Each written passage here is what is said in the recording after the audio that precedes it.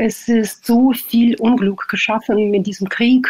Gleichzeitig bricht jetzt so Frühling aus und äh, äh, überall sind äh, schöne Bäume und man äh, ist in so dieser Verliebtheitsstimmung wie immer. Und gleichzeitig äh, sehen wir diese weiteren Bilder, diese, diese getötete Kinder und diese Massengräber bei Mariupol. Und natürlich gibt es Momente von kompletter Ohnmacht. If the Ukrainians were to give up, the war would continue. It would just continue in its simple genocidal form with no resistance. So it's an illusion to think you can just sort of be innocent, right? Going back to this whole thing of German innocence. So everyone who wants this war to come to an end should be trying to help the Ukrainians win it as quickly as possible. Wenn Europäische Union und äh, zum Beispiel Deutschland in heutiger Lage der Ukraine nicht helfen wird, dann kommt der Krieg nach Deutschland morgen. Heute wir, morgen ihr. Birds flying high, you know how I feel. Sun in the sky, you know how I feel.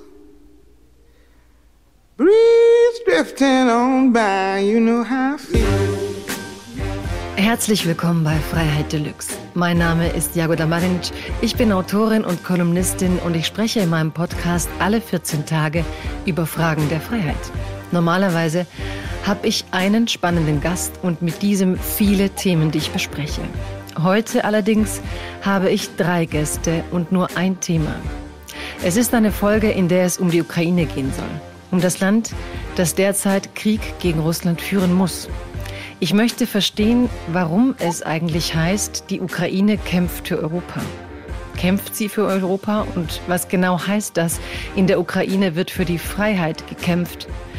Ich habe, um diese Frage zu verstehen, drei kluge Köpfe eingeladen. Einmal die Schriftstellerin Katja Petrovskaya, dann den Schriftsteller Juri Andruchowitsch und den Historiker Timothy Snyder.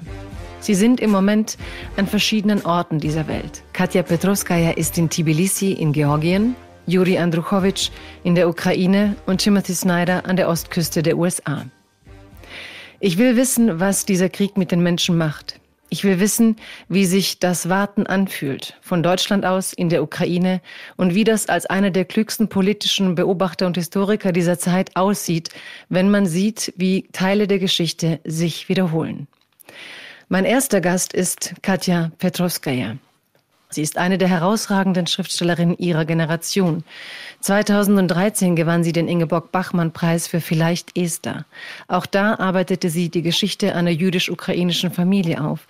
Mit großer Sensibilität erzählt sie, wie sich Traumata in Familien einarbeiten, in Geschichte einarbeiten. Und ich bin sehr froh, dass sie heute hier zugesagt hat. Herzlich willkommen, Katja Petrovskaya. Vielen Dank für Einladung, liebe Jagoda.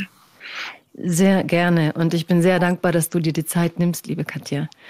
Normalerweise bringen die Gäste ein Zitat mit für das Thema Freiheit. Ich möchte bei dir einfach fragen, wo bist du im Moment? Wie geht es dir und wie sieht dein Tag aus? Ich bin eigentlich gerade kurz nicht in Berlin, sondern in Tbilisi. Ich habe letztes Jahr zwischen Kiew äh, Tbilisi und Berlin gelebt. Also letzte Jahre habe ich in Berlin verbracht. Äh, seit einem Jahr hat äh, mein Mann Arbeit in Tbilisi bekommen und ich war auch ganz lange bei meiner Mutter in Kiew. Ähm, ich war alle diese letzten Wochen in Berlin und äh, es ist tatsächlich für mich keine Zeit für intellektuelle Reflexionen, ehrlich gesagt. Also von dem ersten Tag war eher Frage, wie man diesen Krieg ähm, aufhält und was man selbst machen kann.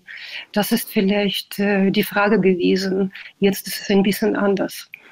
Ähm, ich habe mir diese Pause erlaubt und es geht mir damit nicht ganz, äh, ganz gut, weil, weil die Zeit tatsächlich so ist, dass man äh, mit diesem Agieren, mit kleinen konkreten Sachen äh, versucht, äh, möglichst äh, mehr Menschen zu helfen, wenn nicht zu retten. Und äh, es ist tatsächlich so, dass äh, man die eigene Erholung oder die eigene Pause kaum dulden kann. Du sagst, du hast das Intellektuelle auf Pause gestellt und doch bist du eine Stimme, doch gehst du ähm, zu Anne Will und versuchst, die Menschen verstehen zu machen, wie sich das anfühlt, da hier zu sitzen und du sagst, deine Mutter lebt in Kiew, dort leben deine Freunde, dort leben Menschen. Du versuchst trotzdem, ich würde schon sagen, aufzurütteln, dass ähm, ja, dass wir keine Zeit haben, dass mit jedem Tag das auch ein Todesurteil ist für Menschen oder eben nicht. Also ich sehe dich schon immer noch auch als intellektuelle Stimme und auch intellektuelles in diesem Fall Handeln. Wenn du sagst, das eigene Nichtstun kannst du kaum aushalten, wo hast du denn das Gefühl, vielleicht im Moment doch was bewirken zu können? Wann hast du das Gefühl, vielleicht doch was voranschieben zu können?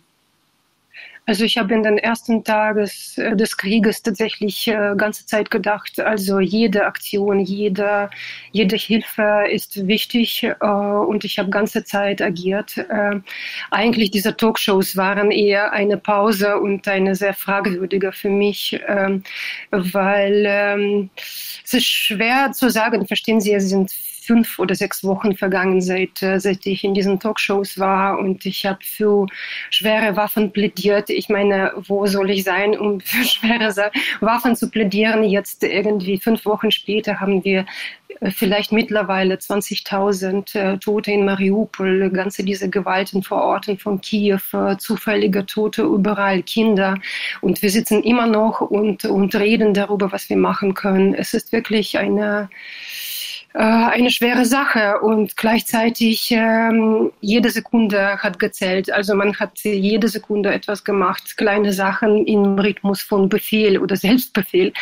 Und jetzt, das ist tatsächlich nach zwei Monaten, sind wir alle äh, sehr müde. Ja, äh, gleichzeitig mhm. entsteht diese Normalisierung des Krieges. Es tobt irgendwo und äh, ich, ich sehe das auch bei meinen Freunden in, in Deutschland, die am Anfang sehr, sehr viel geholfen haben. Ich meine, wir haben alle äh, Flüchtlinge äh, in unsere Wohnungen. Ähm, viele Freunde von mir gehen jeden Tag äh, zum Bahnhof äh, und äh, versuchen da zu helfen. Es, es gibt, verstehen Sie, es, es ist so viel Unglück geschaffen mit diesem Krieg äh, oder durch diesen Krieg, dass, äh, dass egal wie viel wir machen, es ist immer wenig.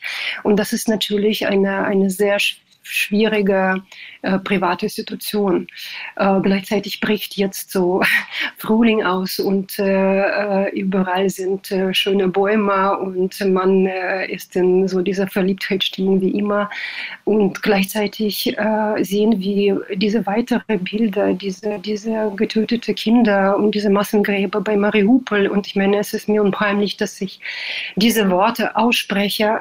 und natürlich gibt es Momente von kompletter Ohnmacht. Ja, also dass man so viel macht äh, als Privatperson, als ich weiß nicht, äh, als öffentliche Person, aber es ist egal, also es läuft immer weiter. Du sagst eben dieses, was du beschreibst, einerseits kommt der Frühling, auch Krieg wird zu einer Normalität. Du beschreibst ja auch in einer Kolumne in der Frankfurter Allgemeinen Sonntagszeitung Bilder ähm, und ja, gleichzeitig sagst du manchmal, wir beobachten online, was drüben passiert.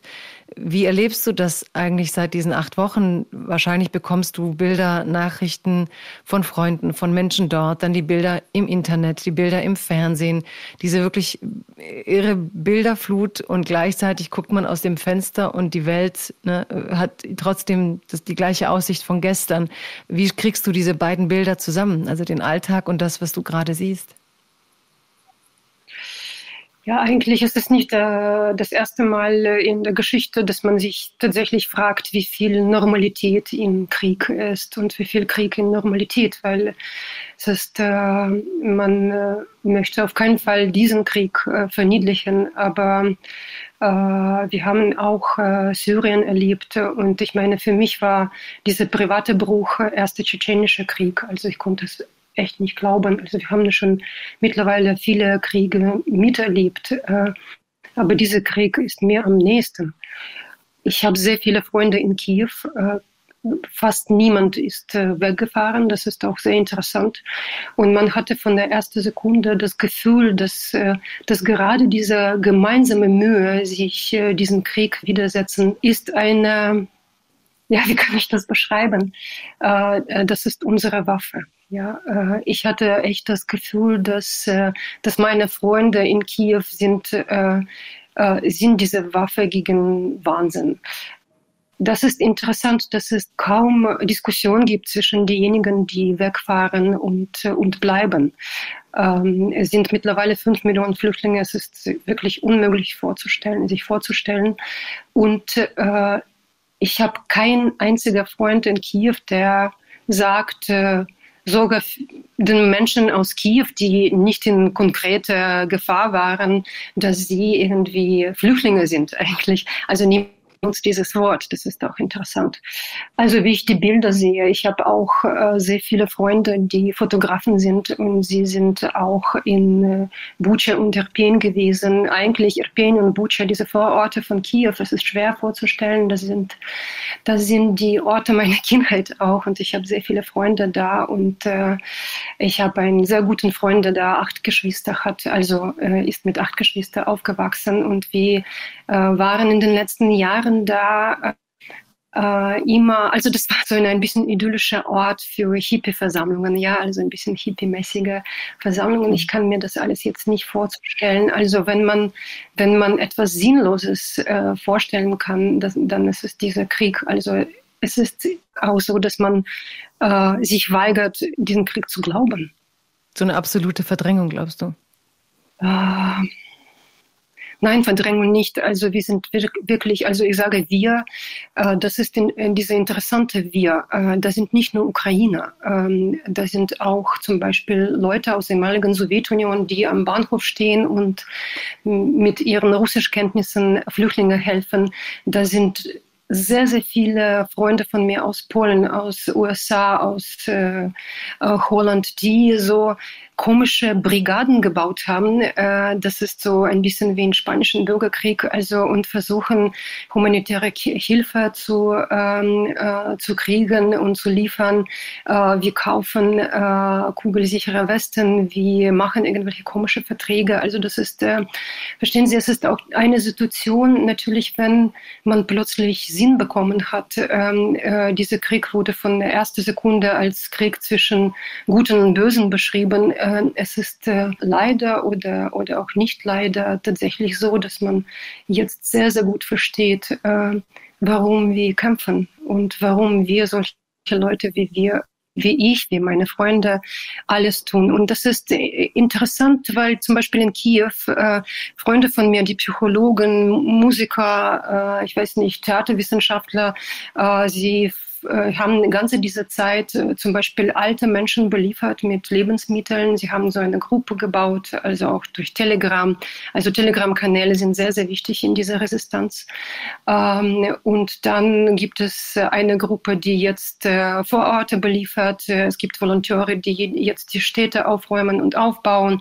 Es ist wirklich alles sehr erstaunlich, ehrlich gesagt. Ähm, also dieser Zusammenhalt. Und der Zusammenhalt mit der Diaspora, also jetzt mit Ihnen, ist dann sozusagen, dass Sie wissen, dass Sie da sind, dass Sie Menschen schicken, dass Sie wissen, die werden dort an den Bahnhöfen ab, also abgeholt, auch Kinder. Gibt es, ich meine, ist Ihre Mutter inzwischen in Deutschland? Ja, meine Mutter ist in Deutschland und das war so am Anfang, dass sie auf keinen Fall weggehen wollte, aber sie wohnte auf linker Ufer der Stadt. Da war etwas gefährlicher und dann waren mehrere Wochen alle Brücken gesperrt und man muss sich vorstellen, also es gibt Zentrum des, von, von der Stadt und äh, linker Ufer, wo eineinhalb Millionen Menschen leben und das war echt schwer da, besonders für äh, 86-Jährige, ja, also und eigentlich sie wollte trotzdem nicht weg, aber aber sie hat 60 Jahre an der Schule unterrichtet, übrigens Geschichte. Und äh, einfach mehrere Leute haben, äh, haben versucht, sie aus Kiew rauszuholen und dann irgendwann wurde sie beinahe geklaut. Äh, und das bedeutet, dass für viele Menschen äh, war es wichtig, dass sie in Sicherheit ist äh, und nicht äh, als sozusagen Mutter der Stadt da bleibt. Ähm, das war für mich übrigens nicht ganz einfach, das zu akzeptieren. Und das war nicht meine Entscheidung und äh, fast nicht ihre. Aber mit dieser Entscheidung ist es sehr interessant, auch weil äh, man hat das Gefühl, dass jetzt genau klar wird, was ist diese Selbstständigkeit, ja. Und äh, also sie, sie machen eine Sendung über Freiheit, ja. Ich habe wirklich sehr viel in den letzten Wochen verstanden, was, äh, was es bedeutet, äh, diese Ukraine, ja. Uh, eine der erstaunlichsten Sachen äh, ist diese Selbstentscheidung, was der Mensch macht. Also was heutzutage jeder macht und für sich entscheidet. Und es gibt da keine richtige Ideologie oder keine Propaganda oder keine Slogans oder sowas. Es gibt Selbstentscheidung, ob man an der Front sich meldet, ob man in, in äh, Verteidigung bleibt, ob man äh, als Volontär oder Freiwilliger irgendwo hilft. Also das ist, äh, das, das entscheidet jeder selbst. Und diese Selbstentscheidung ist eine der erstaunlichsten Sachen heutzutage in der Ukraine. Aber Zelensky hat doch äh, den, den, Männern, den Männern die Ausreise ähm, untersagt, weil er sie für den Kampf braucht. Also diese Entscheidung, dass Männer auf jeden Fall kämpfen müssen für das Land, die ist sicher, wenn man sieht, mit welcher Kraft die Menschen kämpfen, oft eine Selbstentscheidung, aber sie ist ja auch eine politische Entscheidung. Ja, das ist klar, aber trotzdem äh, nicht alle an die Front äh, gehen und es gibt dann die Entscheidung, ob jemand das kann, dann gibt es natürlich diese äh, äh, lokale Verteidigungseinheiten und, und viele sind immer noch überhaupt nicht äh, angemeldet. Und ich habe auch viele Freunde, die, die sich äh, bei diesen Militärpunkten angemeldet haben und äh, sie wurden nicht genommen weil sie zum Beispiel keine Erfahrung haben und äh, sie sitzen immer noch in den Städten und ich würde das auch nicht idealisieren. Es ist eine, eine schwierige Entscheidung und ich weiß, dass unter meinen Freunden einige gibt, die auf keinen Fall an der Front äh, möchten und sollen, weil es sind da wirklich, mhm. also sie werden tatsächlich Kanonenfleisch, ja. Ähm, aber ich habe auch andere Freunde, die äh, eigentlich schon in den ersten Krieg waren. Ähm, vielleicht nicht die nächste Freunde, aber ich habe sehr viele Freunde in lokale Verteidigung, auch 50-Jährige und 55-Jährige, ja. Haben Sie Freundinnen, die sich auch in den Kampf? Es gibt ja viele Frauen, die sich auch gemeldet haben. Also ich habe ähm, äh, Bekannten, nicht so Freundinnen, aber Bekannten Frauen, die eine Freundin von mir, äh, eine polnische äh, Film, ähm, äh, äh, Filmdokum also äh, Dokumentalisten. Äh, sie hat gerade einen Film zu Ende gedreht, heißt Hamlet-Syndrom, gerade mit den Menschen, die in ersten, jungen Menschen, die in ersten äh, russisch-ukrainischen äh, Krieg gekämpft haben, auch in Ilovaisk und in Donetsk. Und die waren sozusagen Protagonisten diesen, äh, dieses Krieges und sie sind jetzt alle an die Front gegangen. Äh, und so hatten wir zum Beispiel sofort die Informationen, was da fehlt und äh, womit man helfen kann. Und das war unsere sozusagen erste Aufgabe, diesen konkreten Menschen zu helfen. Äh, das kann man natürlich auch kritisieren und fragen, warum ukrainische Armee das alles nicht gemacht haben. Aber letztendlich musste man davor irgendwie glauben, dass Russland doch diesen Schritt machen würde. Aber das hat ähm, ja, äh, haben sogar Militärexperten nicht richtig äh, geglaubt. Fühlen Sie sich verstanden? Also immer wenn Sie erklären, was ist, höre ich jetzt ganz oft, dass Sie sagen, ähm, ja, das kann man auch kritisieren, weil und so. Und als ich Sie ganz am Anfang des ähm, Krieges eben gelesen habe, vor allem war auch eine ganz große Entschiedenheit da. Man muss ähm, die Ukraine schützen und äh, es ist ein Angriffskrieg. Verunsichert Sie diese äh, deutsche Debatte und auch das Zögern, das Unsichersein, äh, verunsichert es Sie oder macht es Sie wütend? Also am Anfang hat es mich wütend gemacht, äh, weil ich gedacht habe, dass es sehr schnell äh, sich ändert. Aber mittlerweile äh, sind wir alle irgendwie verantwortlich für diese neue Tote. Verstehen Sie? Also, äh, dass, äh, dass Appeasement-Politik äh, ein, ein, ein fataler Fehler war, egal mit welchen guten äh, Ansichten. Ja, äh, das musste man stärker äh, äh, ansehen, stärker formulieren und dann agieren. Ich meine, dass, äh, dass auch irgendwelchen falschen pazifistischen Gründen man äh, sich weigert, schwere Waffen zu liefern, macht uns allen zu Mittäter. Das ist das Problem.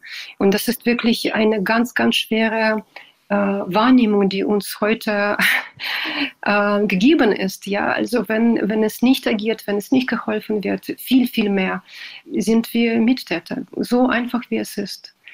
Und ich glaube, in Deutschland äh, dieser äh, falsch verstandene Pazifismus oder äh, falsch verstandene Verantwortlichkeit, äh, äh, ich weiß nicht warum Russland gegenüber und nicht gerade die Ukraine, die als ganzes Land äh, in den Zweiten Weltkrieg ähm, und die schlimmste, ähm, die schlimmste Massaker während Holocaust sind auch nicht in Russland, Entschuldigung, stattgefunden, sondern in der Ukraine und Weißrussland und Polen. Also diese, diese Verantwortlichkeit Vorgeschichte sollte jetzt stattfinden und wir verpassen jeden Tag und das kostet jemanden das Leben. Ich bin in Kreuzberg spazieren gegangen und ich habe da Plakate gesehen, äh, Putin und NATO Hände weg von der Ukraine. Und ich dachte, das ist wirklich unglaublich. Also die Leute meinen, dass äh, das NATO da einen Krieg führt oder was, was ist genau? Und das ist erstaunlich. Das ist äh, also, dass es auch eine große Gruppe Intellektuelle gibt, äh, die sich jetzt äh, vielleicht nicht so stark melden, aber ich äh, sehe das immer wieder, egal im Kreuzberg oder unter den Linken oder unter den Intellektuellen, die längst schon äh, fragen ihre eigene Freiheit mit, mit Wohlstand und ihre sozusagen egozentrische Ruhe äh, äh, ausgetauscht haben oder vermischt haben. Ich weiß nicht, welche Verbe ich jetzt sagen soll. Also mich hat äh, äh, Richard David Brecht wirklich am meisten irgendwie erwischt, als er gesagt hat, und dieser Satz muss wirklich ähm, äh, das Ende der deutschen Humanismus vielleicht markieren. Ja, also er hat gesagt, ähm, äh, dass Ukrainer, äh, äh, natürlich haben Ukrainer Recht, äh, sich zu verteidigen, aber sie haben Pflicht, äh, auch Pflicht, einen Moment zu erkennen, wenn sie kapitulieren sollen.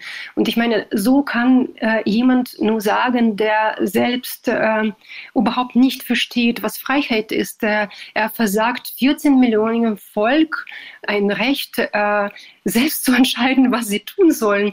Und Ukrainer möchten nicht kapitulieren, weil, äh, weil Kapitulation bedeutet weitere Gewalt und äh, überhaupt äh, unvorhersehbare Situation. Und äh, wie kann man sich ergeben, eine Armee oder ein Staat, äh, äh, der überhaupt keine Versprechungen erfüllt und keine, kein Wort hält und nur Gewalt kennt?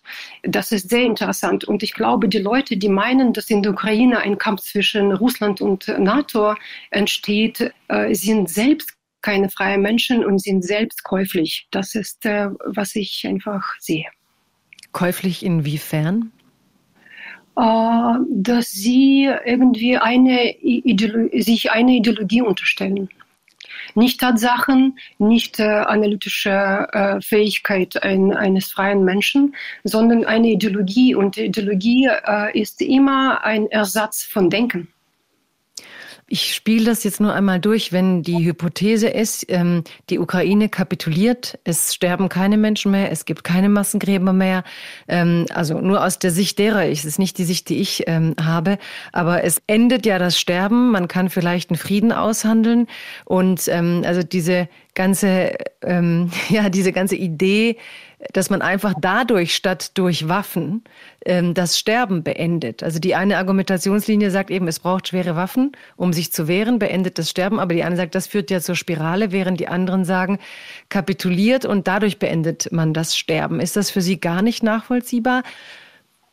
Äh, ja, also äh, ukrainische Seite hat äh, mehrmals versucht, ähm, äh, Verhandlungen zu führen von Anfang an. In dieser Zeit äh, hat Russland immer irgendwie äh, Truppen regruppiert, um weitere Angriffe zu machen und noch brutalere. Und in dieser Spirale von Gewalt gibt es keine Kapitulation. Man kennt auch leider die Geschichte des Zweiten Weltkrieges. Also für Diktatoren dieser Art gibt es keinen Halt. Ja, es wird sich nur weiter schaukeln, egal was wir machen. Das ist das Problem. Also wenn man äh, diese äh, Rückgrat Putins nicht jetzt bricht, dann wird es sich weiter, äh, weiter eskalieren. Und ich glaube, gibt es in diesem Sinn keine Chance äh, zu kapitulieren oder sagen wir weicher einen Frieden mit Putin zu schließen, weil Gewalt andere Formen äh, finden wird. Es werden die Menschen verschwinden, es werden die Menschen brutal verhaftet und getötet. Also wie kann äh, dieser Staat nach, nach äh, dieser, dieser Gewalt in Verorten von Kiew und diese Entschuldigung schon mehrmals Srebrenica in äh, Mariupol überhaupt aufhören. Also ich finde das wirklich unglaublich unverantwortlich und sehr gemütlich, über Kapitulation jetzt zu reden. Und ich sage das nicht, weil ich irgendwie äh, äh militant bin, äh, sondern ich sehe, was passiert. Und das ist mir vielleicht auch, Entschuldigung, ich habe keinen Mann in der Familie, äh, der in der Armee war. Äh, ich bin auch eher aus pazifistischer Ecke. Äh, ich hasse Waffen. Aber es ist Tatsache, wir können Putin nicht anders äh, besiegen. Und, und äh, in diesem Krieg kann nur, äh, nur, nur Sieg den Krieg stoppen. Das ist das, das Problem. Sie sagen gerade, Sie sind nicht militant. Ähm, aber manchmal hört man derzeit von politischen Verantwortungsträgern, wie beispielsweise Ralf Mützenich in der SPD, der sagte, er beobachtet eine Militarisierung der Debatte. Also es gibt Leute, die dann sagen, hm, naja, die militarisierte Debatte oder die, eine Debatte über das Militär findet nicht statt, weil die Russen Gräuel betreiben, sondern sie findet statt, weil Leute wie Sie oder andere Intellektuelle eine Aufrüstung der Ukraine verlangen. Also Sie, mit dem, was Sie jetzt gerade reden, wären ja dann laut Mützenich Teil der Militarisierung der Debatte. Fühlen Sie sich da verkannt oder wie, wie geht es Ihnen, wenn so jemand äh, in dieser politischen Lautstärke sowas auch über Ihre Position äh, hinwegfegt oder fast schon so draufstülpt? Ich finde das eine unglaubliche Heuchlerei. Ja, also äh, ich würde in anderen Situationen, wenn Putin keinen Krieg äh, geführt hätte, ich würde weiter Gedichte lesen und äh, ganz andere Dinge machen.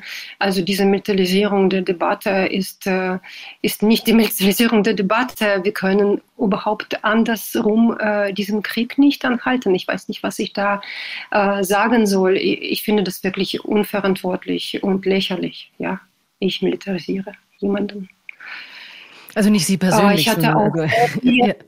ja. Nein, nein, klar klar, äh, aber ich hatte sehr viele äh, Drohungen bekommen nach, äh, ähm, nach diesem Talkshow bei Anne Will und ich finde das echt unangebracht. Also ich habe diesen Krieg nicht angefangen und meine Freunde in der Ukraine auch nicht und äh, sie hassen Krieg. sie möchten in Frieden leben, aber da ist jemand gekommen, um alles wegzunehmen und auch ihr Leben. Und ich möchte, dass diese Leute da verstehen, also dass es, äh, dass es keine Ruhe geben wird, wenn, äh, wenn man irgendwelche, also ich glaube, ich glaube nicht, dass Putin überhaupt für Frieden fähig ist. Wenn Sie solche Drohungen erhalten, spielen Sie manchmal mit dem Gedanken, sich aus der Debatte öffentlich herauszuziehen? Oder sagen Sie, das ist eben der Preis der Meinungsfreiheit, der Freiheit, für die die Ukraine jetzt kämpft? Absolut. Das ist sehr bitter, aber mh, hm, das interessiert mich wirklich nicht. Ich würde gerne noch mal diesen Freiheitskampf der Ukraine verstehen, denn die letzten Artikel, die sagen wir mal die letzten Jahre, waren ja durchaus auch viele Zelensky-kritische dabei, dass er durchaus ähm, Korruption im Land toleriert. Das war ja jetzt keine einzige Lichtgestalt, so wie er es plötzlich seit der Krieg begonnen hat. Ähm, aus der Sicht mancher, die sagen, er ist eine vorbildliche Führungsfigur für ein Land, das unter diesem russischen Angriff leiden muss, ist, ähm, worauf baut er da so stark auf? Ich meine, er hält diese Reden, er hat eine Bevölkerung mit Slava Ukraini, die äh, eine ganz äh, hohes auch Ethos haben, diese Freiheit in diesem Land hochzuhalten. Sie sind Schriftstellerin, Sie kennen die Poesie, Sie kennen die Literatur dieses Landes. Was ist eigentlich so der intellektuelle und kulturelle, auch wenn Sie sagen, das ist nicht gerade die Debatte. Ich glaube schon, dass man ähm, eine Geistesarbeit geleistet hat vorab, die ja irgendwie die Basis dessen sein muss, dass die Leute dort sagen, wir sind bereit, also über die, das körperliche Risiko hinaus, es fliehen ja eben nicht alle, wie Sie beschrieben haben, sondern sie bleiben vor Ort und sagen, es ist hier ein Kampf, der ist größer. Da hat ein Mensch eine Größe, also ein Diktator, der auch ein Mensch ist, eine Größenfantasie, eine, einen Größenwahn, diese Welt zurückzuverwandeln in eine imperiale Ordnung, die eigentlich wir glaubten hinter uns gelassen zu haben. Was ist dieser Kern des Freiheitskampfes, der, auch der intellektuelle? Was sind die Bücher? Was sind die, ähm, die Lieder, die Sätze, die die Ukrainer haben, um an diese Freiheit so stark zu glauben? Also ich glaube, äh, man braucht keinen Slogan oder ein Zitat oder Vorbilder, um einfach an äh, Selbstbestimmung zu glauben. Und ich glaube, das ist tatsächlich diese Selbstbestimmung. Die hat sehr viele Quellen. Also äh, man muss auch verstehen, dass Ukraine größer als Deutschland ist und eigentlich da sind sehr, sehr viele verschiedene kulturelle Muster. Aber das Wichtigste jetzt ist sogar in, in einem Land, was nicht so frei äh, tickt, äh, wie man dachte, wie Deutschland, äh, was wirklich viel korrumpierter ist und viel ärmer. Und da gibt es verschiedene Probleme. Aber dieser Wunsch, sich selbst mit, mit diesen Problemen zu beschäftigen, auch auf lokaler Ebene und einfach das zu bestimmen, wie man leben soll. Ich weiß nicht, warum es äh, nicht verstanden wird. Und eigentlich seit Jahren kämpft die Ukraine als Subjekt anerkannt zu werden, ja. Und bis jetzt in Deutschland, das ist sehr interessant, gibt es keinen richtigen äh, äh, Lehrstuhl äh, für ukrainisches Studium. 40 Millionen Land hat keine richtige kulturelle Repräsentanz in Deutschland. Zum Beispiel gibt es einen hervorragenden Historiker in Viadrina, Andrei Partnov, einer der besten Kenner äh, der äh, ukrainischen Geschichte. Und er kämpft seit Jahren, um irgendwie äh, äh, irgendwelche Aufmerksamkeit zu bekommen, auch für dieses Studiumfach. Ja. Es ist jetzt wirklich sehr schwer zu, zu erklären, was ist dieser kulturelle Kern. Vielleicht äh, äh wird der nächste Redner darüber mehr mhm. sagen.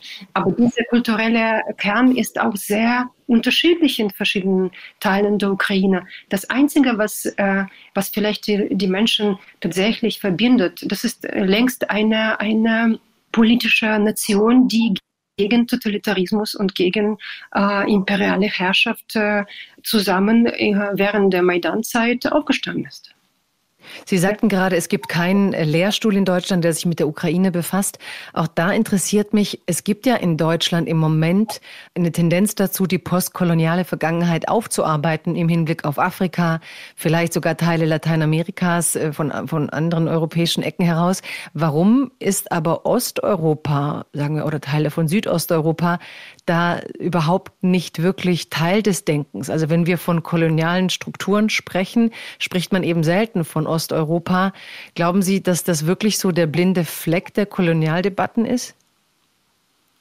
Kann sehr gut sein. Es gibt tatsächlich andere Menschen, die das besser verstehen. Ähm, kann sein, dass es immer noch, äh, trotz die ganze Erinnerungskultur und ihre tausende Bücher und Gedenkstätte, trotzdem irgendwelches Denken, äh, was äh, von großem Russland äh, einen riesigen Respekt hat äh, und was da zwischen diesen großen Russland und nicht mehr so großen Deutschland irgendwie nicht richtig respektiert. Ich würde gerne zum Schluss nochmal über Ihre Mutter sprechen, weil Sie haben gesagt, sie ist 86 Jahre alt, sagten Sie. Und Sie sagten, sie war Geschichtslehrerin, also eine Frau, die genau diese Geschichte, die, von der wir gerade sagten, sie fehlt vielen oder die Kenntnis darüber fehlt vielen. Wie blickt denn Ihre Mutter jetzt, da sie wieder in Deutschland sitzt, auf diese Zeit? Was macht das mit Ihrem Verstehen von Welt? Sehr schwer zu sagen. Also sie war tatsächlich Kriegskind und ähm, sie ist mit ihrer, ihrer Mutter nach, äh, nach Südural geflohen und äh, andere Teil der Familie wurde in Babia in Kiew ermordet. Und das ist für sie, wie für viele eigentlich Menschen, absolut unvorstellbar. Äh, jetzt, dass sie von der russischen Armee äh, nach Deutschland, nach Deutschland fliegt. Und das ist so absurd, äh, ich glaube, wir werden später über diese Sachen reflektieren. Es ist jetzt nicht die Zeit, auf jeden Fall nicht für mich. Äh, meine Mutter ist angekommen. Sie, sie kocht jeden Tag. Sie versucht äh, noch drei geflohene Frauen zu futtern.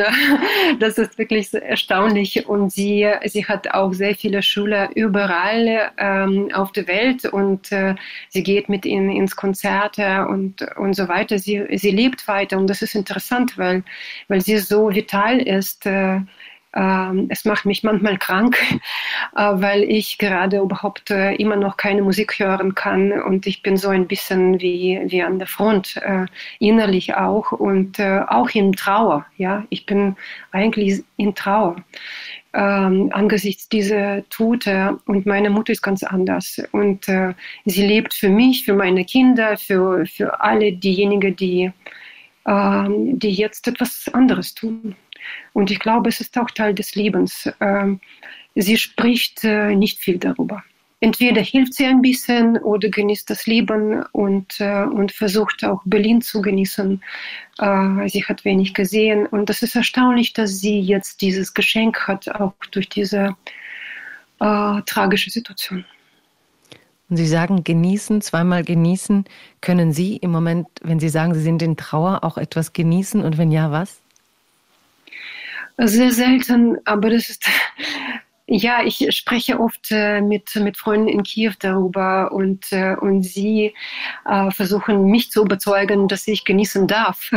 Das ist interessant, äh, ähm, weil eine Freundin von mir, die, die eigentlich so diese alte Menschen ganze Zeit beliebt, geliefert. Sie haben 500 Menschen in ihre Dienst. Äh, jetzt hat sie angefangen, wieder Tanz zu unterrichten, weil äh, diejenigen, die in Irpin überlebt haben, sie hatte auch äh, Schüler aus Irpin, haben sie gebeten, wieder zu tanzen. Und sie haben letzte Woche angefangen zu tanzen. Und äh, ja.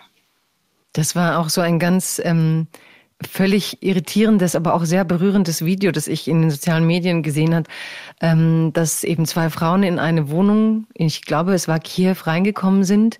Und die Wohnung war völlig zerstört, aber ein Klavier hatte überlebt sozusagen. Und ähm, eine der beiden Mädchen hat sich ans Klavier gesetzt und wirklich so leidenschaftlich Klavier gespielt und die andere hat es gefilmt und sie haben es dann ins, ins Netz gestellt und man, es kam einem wirklich die Tränen, dass sie inmitten in diese Zerstörung in diese Wohnung gehen und sie einfach mit aller Kraft die Musik ähm, auf diesem Klavier hörbar machen möchte gegen diese Zerstörung. Ähm, können Sie lesen, wenn Sie sagen, Sie können nicht Musik hören?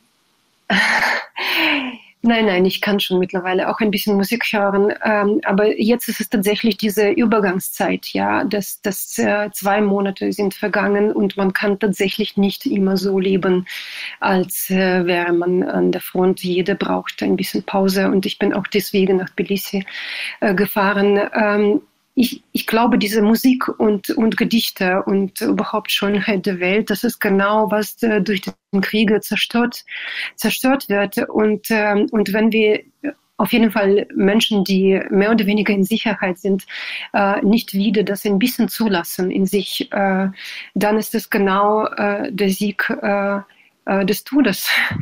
ähm, und ähm, ich habe ehrlich gesagt nur ein paar Mal geweint in ganze diese Zeit, weil äh, man ständig arbeitet und äh, und ich habe geweint, als eine Freundin von mir mir erzählt hat, wie sie ein russisches Gedicht äh, ins Jiddisch übersetzt hat. Und das war so sinnlos und so schön. Und, äh, und ich habe einfach eine Stunde geheult, einfach weil, weil die, die wichtigsten Sachen sind doch äh, am Rande der Sinnlosigkeit und, und die einfach schön sind und vielleicht äh, überhaupt die Menschlichkeit ausmachen.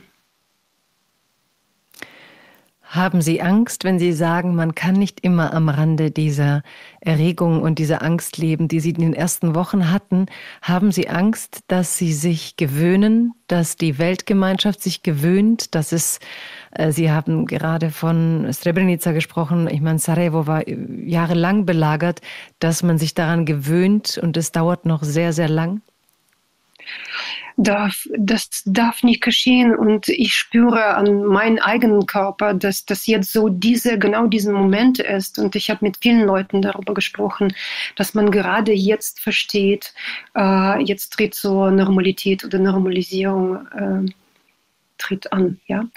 Äh, deswegen ist es so wichtig, jetzt zu agieren und ähm, jetzt gemeinsam die Kräfte sammeln das, ist, äh, das ist vielleicht die Situation. Wenn ich Sie jetzt am Ende des Gesprächs fragen darf, welcher Satz zur Freiheit ist der erste, der Ihnen in den Kopf kommt? Ja, das ähm, selbst zu bestimmen, was man tut. Äh, und manchmal ist es Selbstverständlichkeit, manchmal ist es ein ganz schwerer Prozess. Die Freiheit ist sehr schmerzhaft. Vielen Dank. Vielen Dank für Ihre Zeit. Danke Ihnen. Danke. Danke, danke dass Sie das machen. Danke, dass Sie das machen. Ich kann nicht anders. ja, Katja, vielen Dank. Vielen, vielen Dank.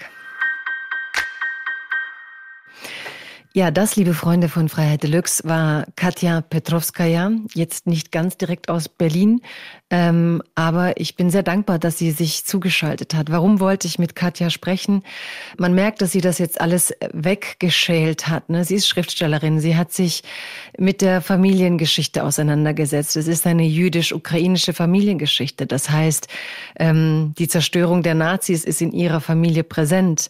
Sie ist jemand, die natürlich ähm, diese ganze Krise in ihrer Tiefe versteht, in der Zerstörungswut versteht, einen literarischen Zugang hat und plötzlich eigentlich fast gezwungen wird, hier aus ihrer Sicht öffentlich Stellung zu nehmen, zu sagen, ich beschäftige mich nicht mit Gedichten. Und ich glaube, was ich zeigen will, ist, wie Krieg uns verändert, in wie kurzer Zeit jemand, der eigentlich mit Worten arbeitet, plötzlich über schwere Waffen reden muss, wie sie sich hinstellt und gezwungen ist, Position einzunehmen ähm, wie sie gezwungen ist, Übersetzerin zu werden von Handlungen, wie sie aber auch teilweise öffentlich ähm, ja, verspottet wird mit so Dingen, ja, militarisiert die Debatte, tut so, als wären sie, Schriftstellerinnen tun jetzt so, als wären sie Expertinnen für Militarismus. Es gab einen Artikel ähm, in der Zeit, in der Juri Andruchowitsch und Katja Petrovskaya kritisiert wurden, wieso sie sich denn überhaupt herausnehmen, sich über Krieg und Militär zu äußern. Mir war es wichtig, dass Sie hören, warum sich diese Menschen das herausnehmen, nämlich weil sie über Jahrzehnte als Familie in einem Land leben, weil sie die Kultur kennen, sich mit der Kultur befassen, verfasst haben und weil natürlich jede Handlung tief in die Normalität eines jeden, der dort ähm, Verbindungen hat in dieses Land, der aus diesem Land kommt, ihre Mutter lebte noch in Kiew, so tief eingreift, dass von heute auf morgen eigentlich nichts ist wie vorher. Und man hört es ja auch an dem, was Katja über ihre Mutter sagte dass sie nicht weggehen wollte aus Kiew. Und auch daran, glaube ich, können wir alle verstehen, wie lange Menschen vor Ort nicht glauben können, dass dieses Grauen wirklich eintritt. Wie lange man in einer Verneinung lebt, dass das, was an Elend und an Krieg auf einen zurollt, vielleicht doch nur Fiktion ist. Und ich finde es deswegen sehr interessant, weil auch die gesamte Weltgemeinschaft wochenlang zugesehen hat, wie Putin ja sein Militär an die Grenze der Ukraine fahren ließ, wie wir eigentlich nicht reagiert haben, wo man längst hätte reagieren können, wo die Ukraine längst hätte Hilfe haben können. Also ich versuche auch ein Stück weit diese Paralyse der Monate zuvor zu verstehen, in der alle zugesehen haben, dass Russland aufrüstet und in der Zeit wir die Ukraine eben nicht vorbereitet haben, um sich angemessen zu wehren oder zumindest nicht angemessen vorbereitet haben. Das also war der Blick einer dichtenden Frau, eines Wesens, das über ähm, das Schreiben die Welt erfährt.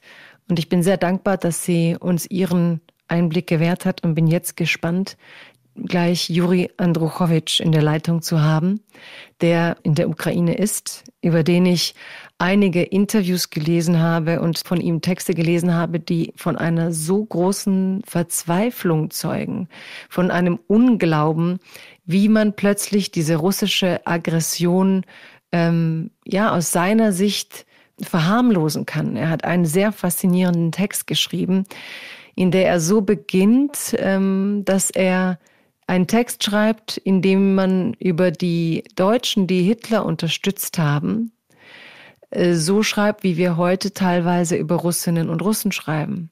Natürlich wollen alle das Beste, wenn sie sagen, nicht alle Russinnen und Russen stehen hinter Putin. Es ist ja ein Diktator.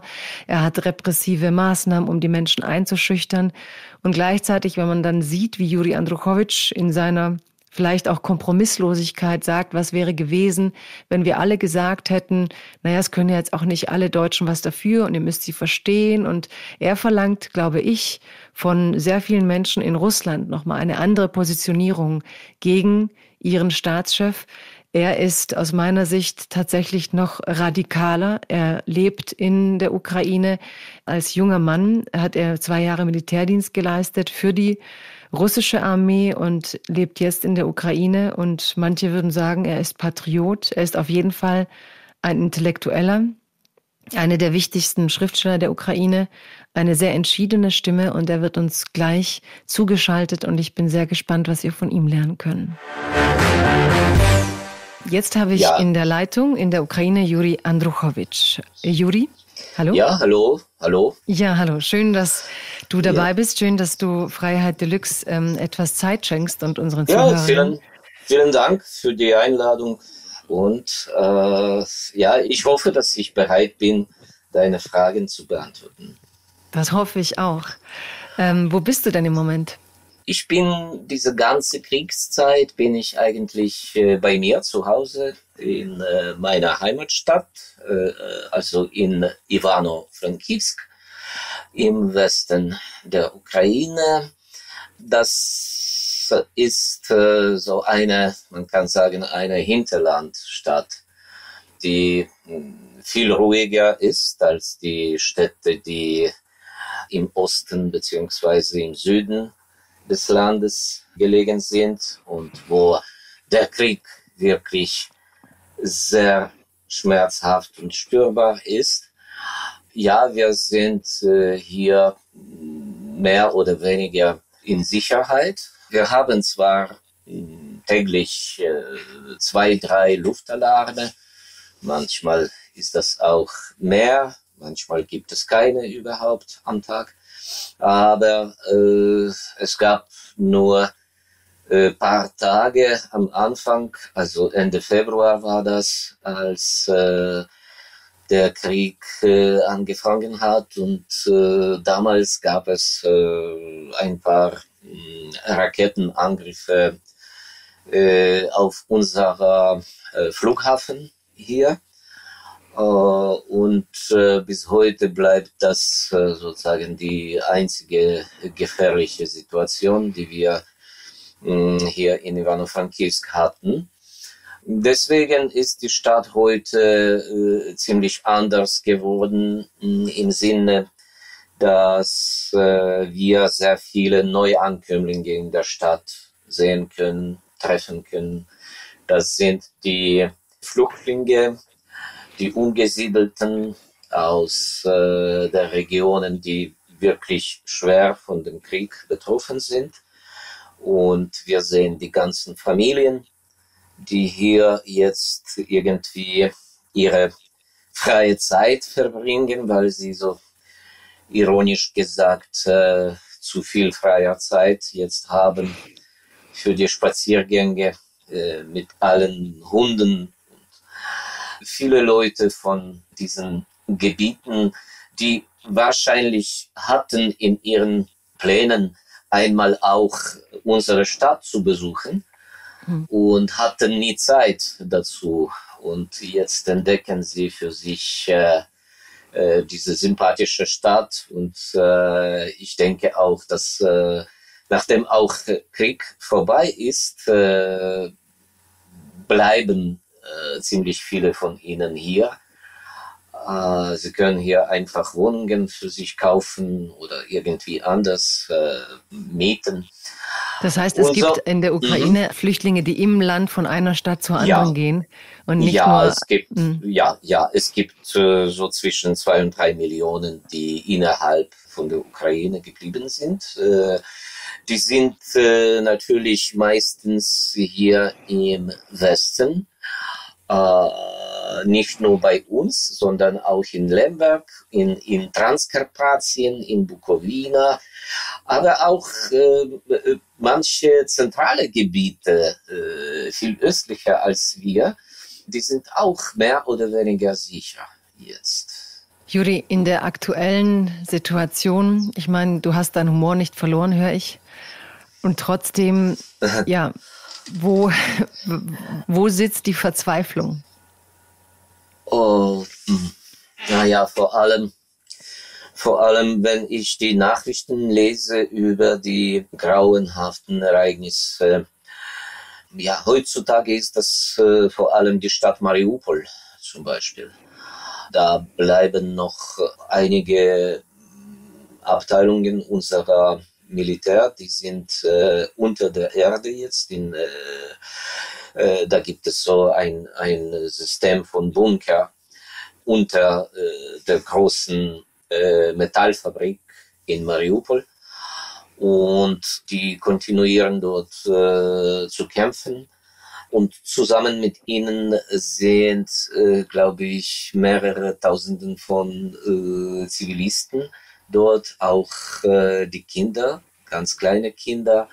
Wir bekommen ab und zu die Videoaufnahmen aus diesem Untergrund, aus diesem Versteck, kann man immer noch sagen. Also die Stadt ist äh, fast völlig zerstört. Äh, die Stadt, die ich äh, nicht sehr gut kenne, aber ich war in Mariupol dreimal. Nach 2015 äh, immer mit einem Konzert beziehungsweise mit einem Performance. Also das, das war eine, eine absolut offene, warme, südliche äh, Hafenstadt äh, mit vielen herzlichen Leuten. Es gab unter diesen Leuten auch sehr viele, die schon 2014 ihr Zuhause verloren haben. Die mussten aus äh, Donetsk äh, beziehungsweise aus anderen Gebieten äh, die schon damals äh, von Russen äh, okkupiert wurden. Die, die, die müssten damals irgendwie fliehen. Und sie haben die nächste Stadt gefunden, Mariupol, die am nächsten zu ihren Heimatorten ist. Und jetzt äh, verlieren sie auch das. Äh, und das ist wirklich tragisch finde ich. Äh, obwohl auch äh, sehr viele Leute äh, von Mariupol, kann man sagen, rechtzeitig schon geflohen waren. Ziemlich viele von ihnen sind jetzt im Ausland, in Europa. Ich bin absolut sicher, dass äh, ziemlich viele auch jetzt in Deutschland sind, wie zum Beispiel meine, meine bekannte Dichterin und äh, Journalistin aus Mariupol, Oksana Stomina, die ich vor ein paar Jahren hm, kennengelernt habe. Also Mariupol ist natürlich jetzt eine Extreme, weil das äh, fast völlig vernichtete Stadt ist. Mir kommt in den Sinn äh, nur die Vergleichung mit, äh, mit Warschau äh, im Jahr 1944, nachdem Warschauer Aufstand äh, von Nazis zerschlagen wurde. Aber es gibt natürlich äh, viele andere Städte, die sehr, sehr grausam äh, von diesem Krieg zerstört wurden, wie zum Beispiel die Städte in der Nähe von Kiew, also solche äh, Kiewer Vorstadt, Vorstädte kann man sagen. Die sind jetzt befreit, die sind äh, wieder völlig von äh, unserem Staat kontrolliert, äh, aber die Leute äh, dürfen noch eigentlich nicht äh, zurückkehren. Es gibt überall Minen, es gibt absolut verschiedene Gefahren auf Schritt und Tritt. Ich denke auch viel über Kharkiv, die Stadt, die jetzt äh, teilweise blockiert wird, aber ist, äh, bleibt frei und ist äh, so zu einer Festung geworden. So viel Militär innerhalb von der Stadt, also jede Offensive auf Kharkiv, jede russische Offensive wird äh, absolut äh, unerfolgreich, das bin ich sicher.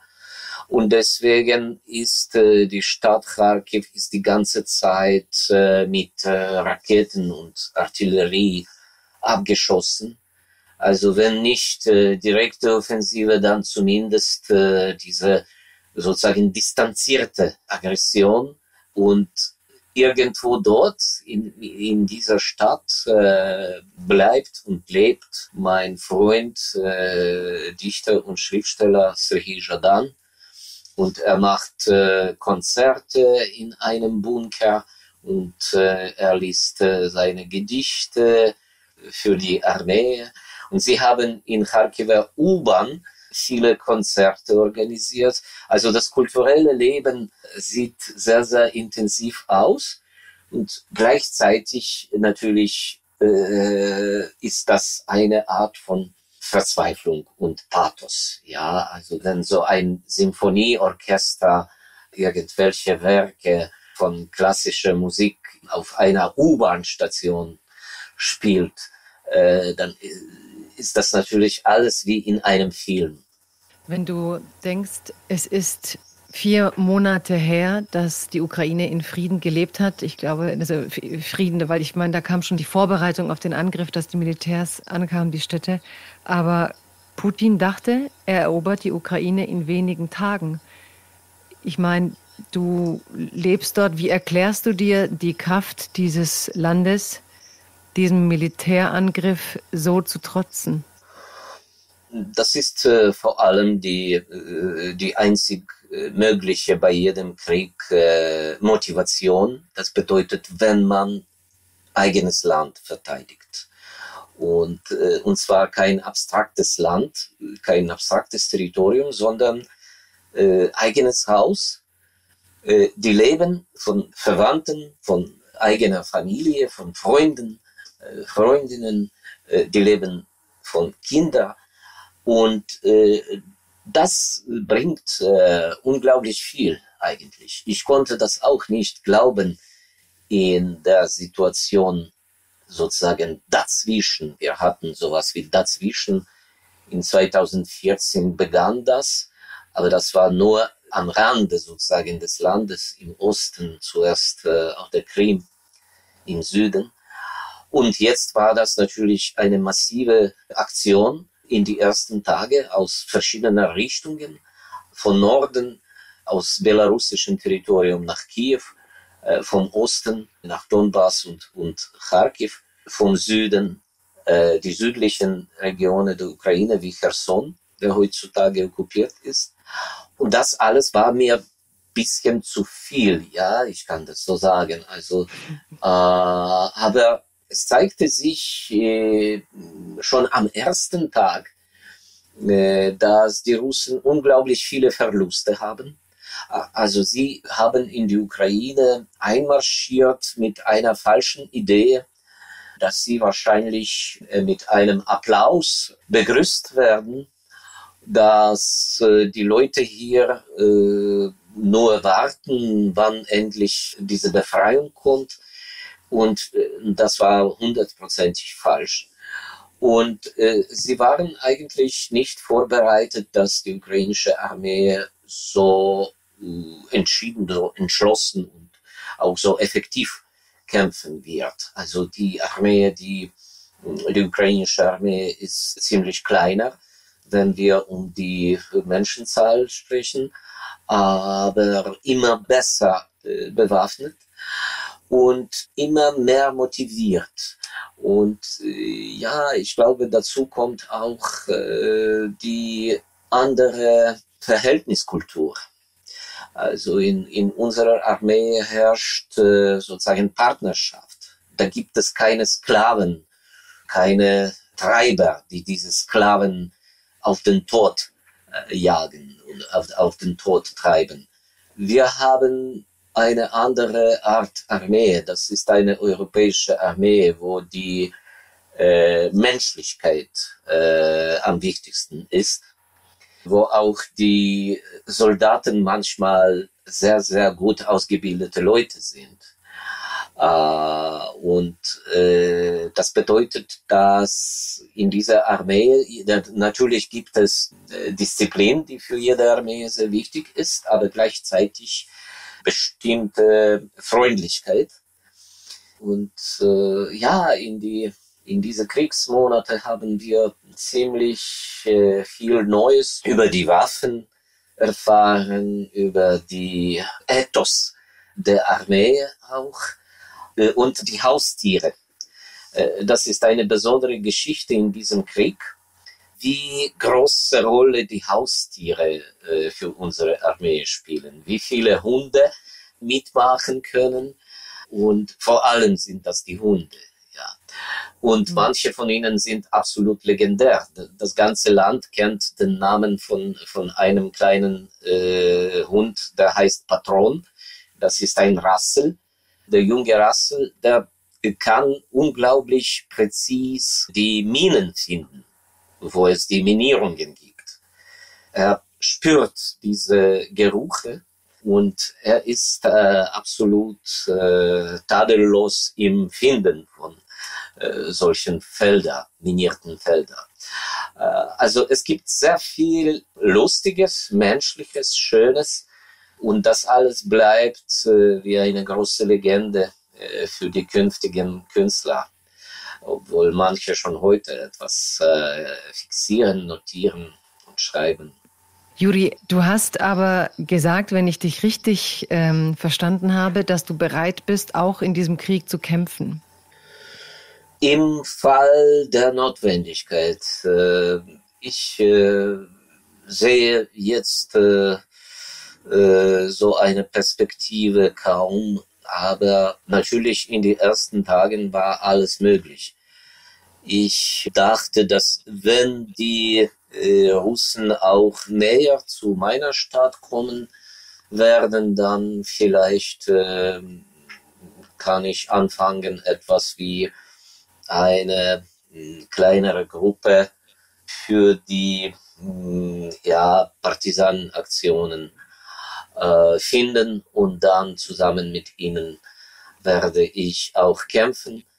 Ich kenne sehr gut äh, unsere Berge hier. Ich bin sicher, dass äh, im Fall, dass äh, das irgendwie sich verwirklicht, äh, diese schreckliche Perspektive, dann natürlich äh, äh, bekommen die Okkupanten viele, viele Probleme genau in dem Gebiet, in den Bergen.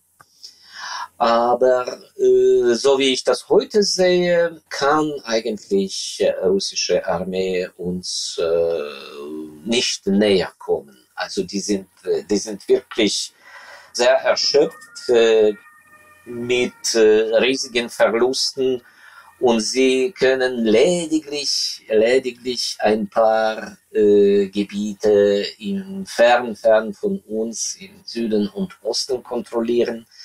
Auch äh, mit dem Norden waren sie unfähig, äh, irgendwas für sich zu kriegen.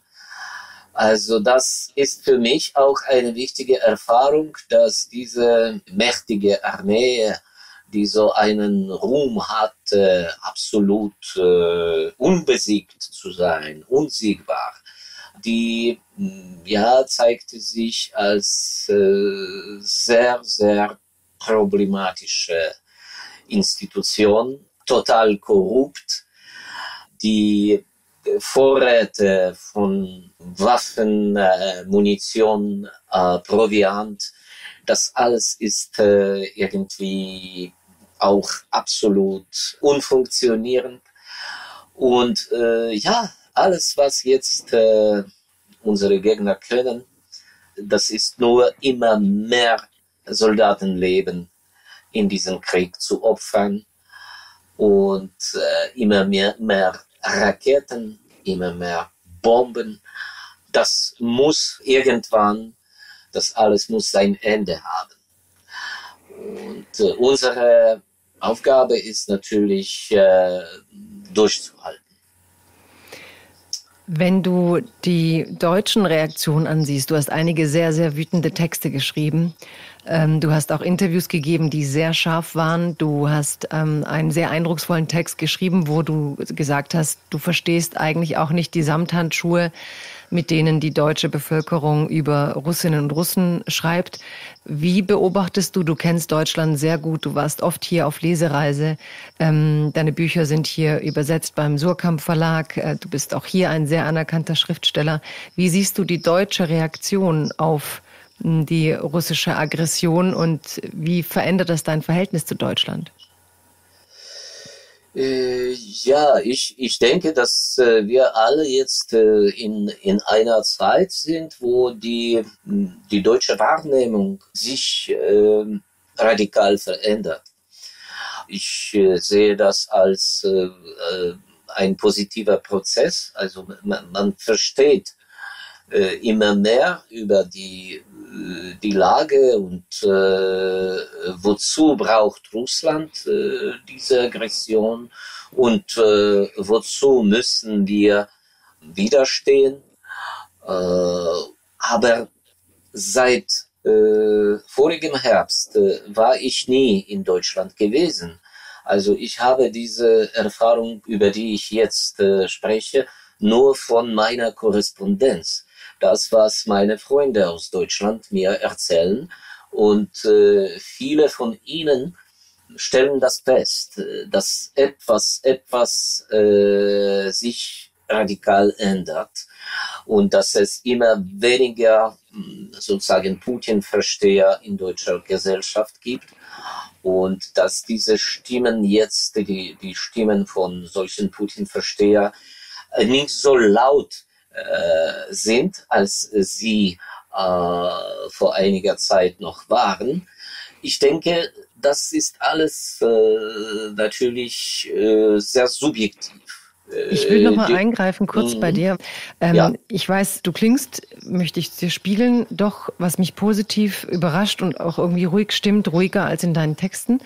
Ähm, mhm. Es gibt aber eine Entgegnung beispielsweise von Adam Sobocinski, Ressortleiter des Feuilletons in der Zeit, der beispielsweise sagte über dich und Katja Petrovskaya, dass sich die Dichter eben nicht in diesen Krieg einmischen sollen, weil es zu so poetischen Bildern kommt, wie man müsse den Himmel schließen, wo man doch eigentlich den Beginn des Dritten Weltkrieges meint. Also wo er durchaus mhm. sehr kritisch ist mit euren Ansprüchen, dass man der Ukraine helfen muss. Und ähm, der sagt, ihr seid dann einfach zum Glück nur Schriftsteller und habt von der wahren Militärstrategie ähm, keine Ahnung.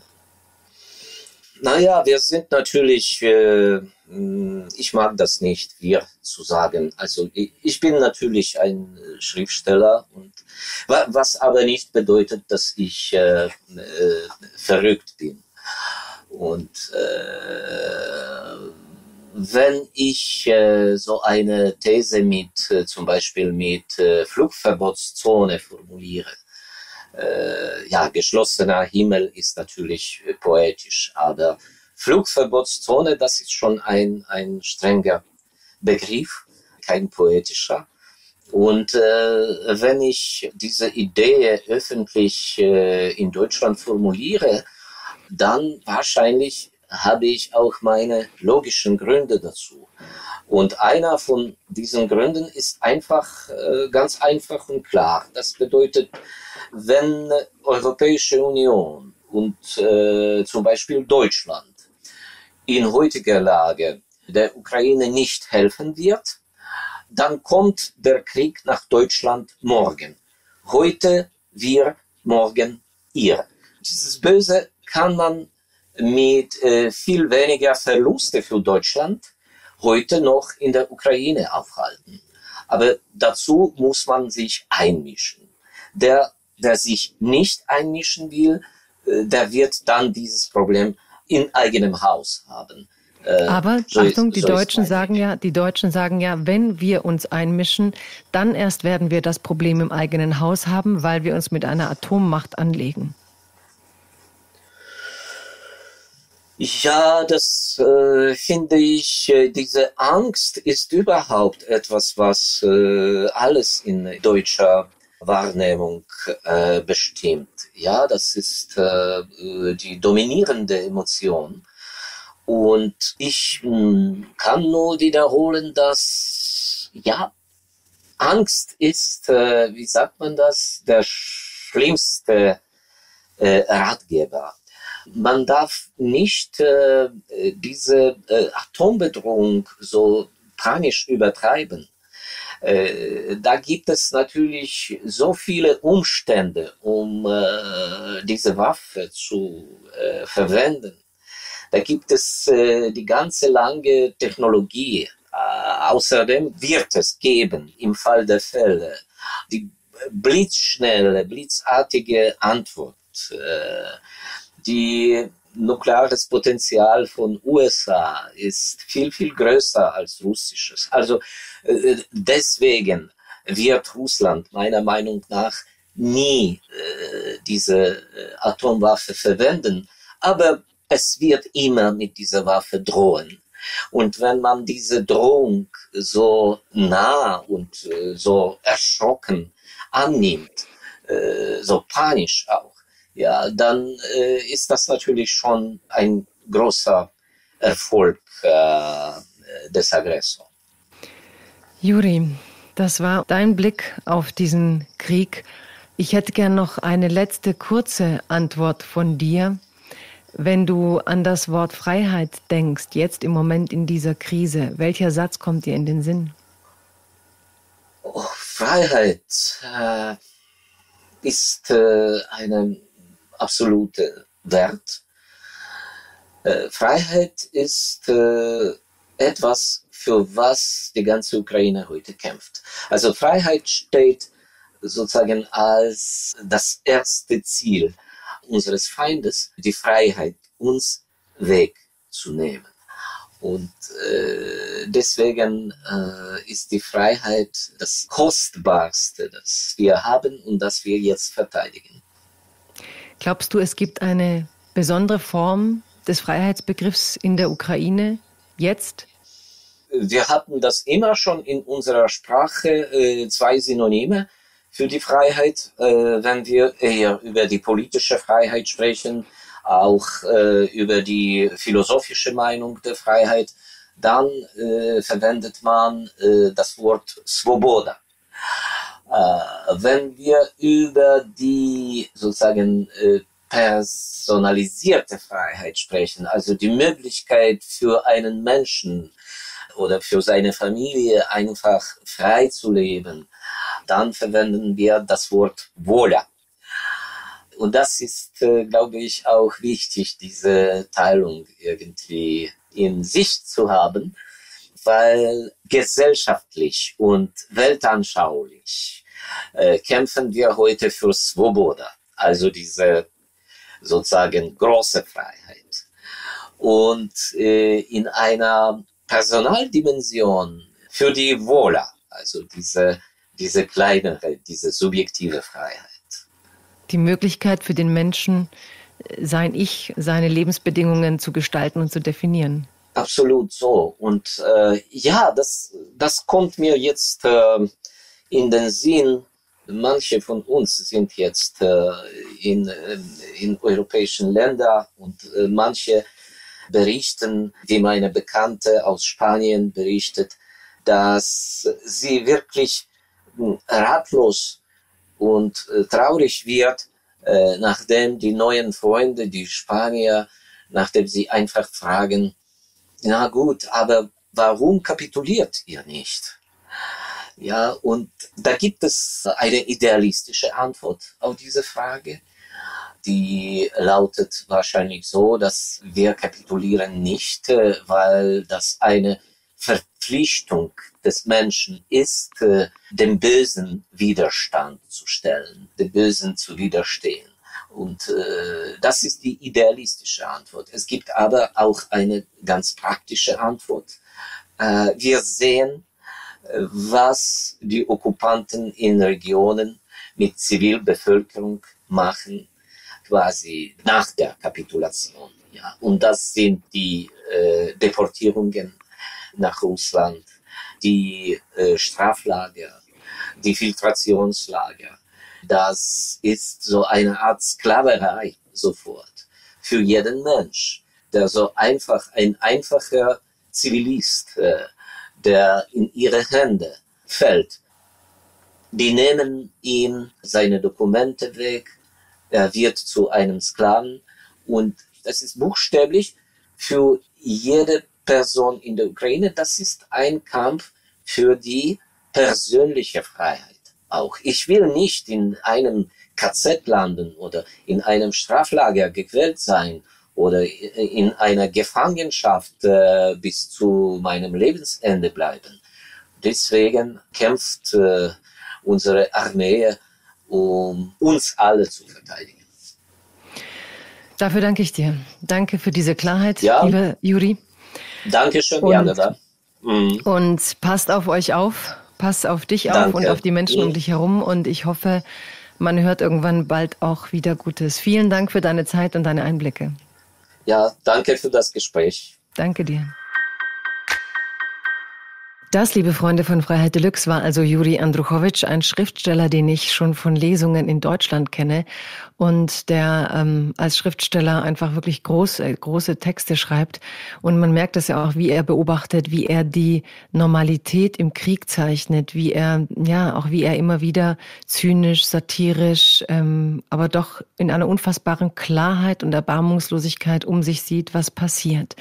Die letzten Minuten haben mich besonders beeindruckt, weil er das nochmal in so wenigen Sätzen gefasst hat, warum die Ukraine nicht kapitulieren möchte. Also sie scheinen dort eben nicht daran zu glauben, dass es einen Waffenstillstand geben kann, nachdem es Verhandlungen auf Augenhöhe gibt. Jetzt bin ich sehr gespannt auf den Historiker, der das eben ganz anders ähm, betrachtet. Nicht von dem Ergebnis her, sondern von der Art und Weise, wie er sich seinem Stoff nähert, nämlich über die Geschichte, über das Erforschen der Vergangenheit. Er hat das Standardwerk geschrieben über Stalin und Hitler, Bloodlands. Er unterrichtet an der Universität Yale. Er ist einer der führenden lebenden Historiker unserer Zeit. Er berät Regierungen. Man kann seine Kompetenz ähm, tatsächlich kaum groß genug schätzen in diesem Feld. Und ich bin wirklich dankbar, denn er ist im Moment so gefragt, dass man eine A4 lange Mail bekommt, warum man ihn derzeit nicht erreichen kann und wo man aber seine Artikel derzeit lesen kann. Ich freue mich, dass er sich für uns und die Freunde von Freiheit Deluxe Zeit nimmt und bin sehr gespannt auf die Einordnungen von Timothy Snyder. Birds flying high, you know how I feel. Sun in the sky, you know how I feel. Breeze drifting on by, you know how I feel. Unser dritter Gast, Timothy Snyder, sitzt an der Ostküste der USA. Er lehrt an der Universität Yale, wie ich es eben sagte. Er ist soeben zugeschaltet. Ich freue mich sehr, dass er sich Zeit genommen hat für Freiheit Deluxe. Um, welcome, Timothy Snyder. I'm very glad you're with us right here, right now, with this podcast. Mm -hmm. Glad to be with you too. I'm glad because it's such a turmoil time that it's very hard to understand. I mean, we've just listened to a writer from Berlin with Ukrainian roots with a Ukrainian writer in Ukraine, which both have very different approaches to the war. Um, in, in terms the same, but one is looking at the war from afar and another is sitting amidst the country. You are watching all of this with the eyes of a historian. Um, let's first start with one of the sentences that seem to be a lot around in Germany. It's like, who could have seen that coming? I mean, whoever has who's read your books, there's been so much information about the intellectual realm that Putin lives in, and where do you think did we go wrong to not see this coming and to be in a moment of such a huge dependency that Germany doesn't seem to be able to really act upon this crisis? Well, first of all, thank you, thank you for letting me be here and in the company of uh, of, of Katya Petrovskaya and Yuri Andruhovich, whose books are very important to me. And um, Katya Petrovskaya's text, uh, Widerstand, and uh, was it Amulet for den ukrainischen Widerstand, was also very important to me when this when this war began. I I think the first thing is is to just question German innocence. So the moment when Germans start saying, "Who could have seen this happen?" That's that's where the conversation has to be completely reoriented because as soon as you say that, you're saying, "Well, anyone could have made this mistake," and I think that's not true. I think only Germans could have made this mistake. I think it's a particular German mistake that that, that can only be explained inside the parameters of particular German discussions um, having to do with Vergangenheitsbewältigung and having to do with Ostpolitik and how Vergangenheitsbewältigung and Ostpolitik were linked together in the 1970s and 1980s and 1990s. So, you know, let's let's let's stop with the moment where Germans say who could have seen this coming is is the it has to be the wrong starting point, as I think you're suggesting. It, Germans should have seen this coming. They should have seen coming um, fascism in Russia. They they should have seen this war coming, and and they they didn't. So there's at, least most Germans didn't. You know, at least m- much of the political class didn't. Certainly the SPD, who happens to be in charge of the government now, didn't. So I mean, the, the, I guess the the two things I would point to right away, and then we can continue the conversation, are uh, uh, errors having to do with remembering the Holocaust. The the Holocaust was remembered in such a way that um, only only Germans were involved, or if we're going to think of people who were involved who weren't Germans, we're going to focus on the people who were colonized by the Germans.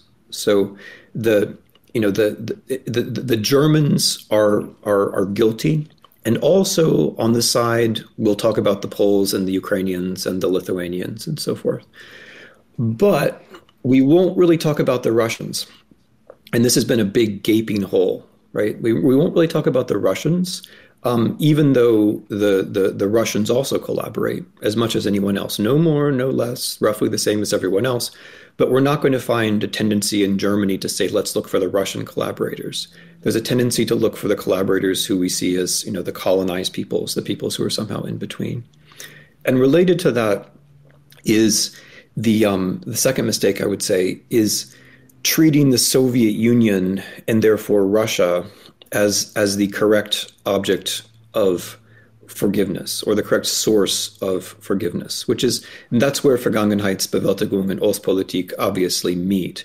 Treating Brezhnev as the source of forgiveness, which is very, I mean, which is certainly understandable in political terms. It's just unfortunate that Germans seem to take it actually seriously, because the, of course the Soviet Union was also an imperial power. The Soviet Union also began the Second World War.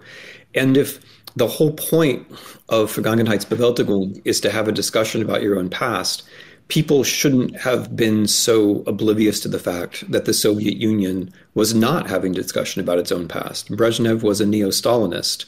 There was no dis- there was not only no discussion about how the Soviet Union began the Second World War, it was forbidden to talk about it as it is, not coincidentally, in Putin's Russia.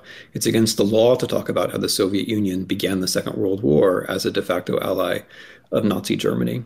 And then I think the third mistake, you know, the third way that Vergangenheitsbewältigung and Ostpolitik come together in this kind of in this kind of fatal embrace has to do with resources.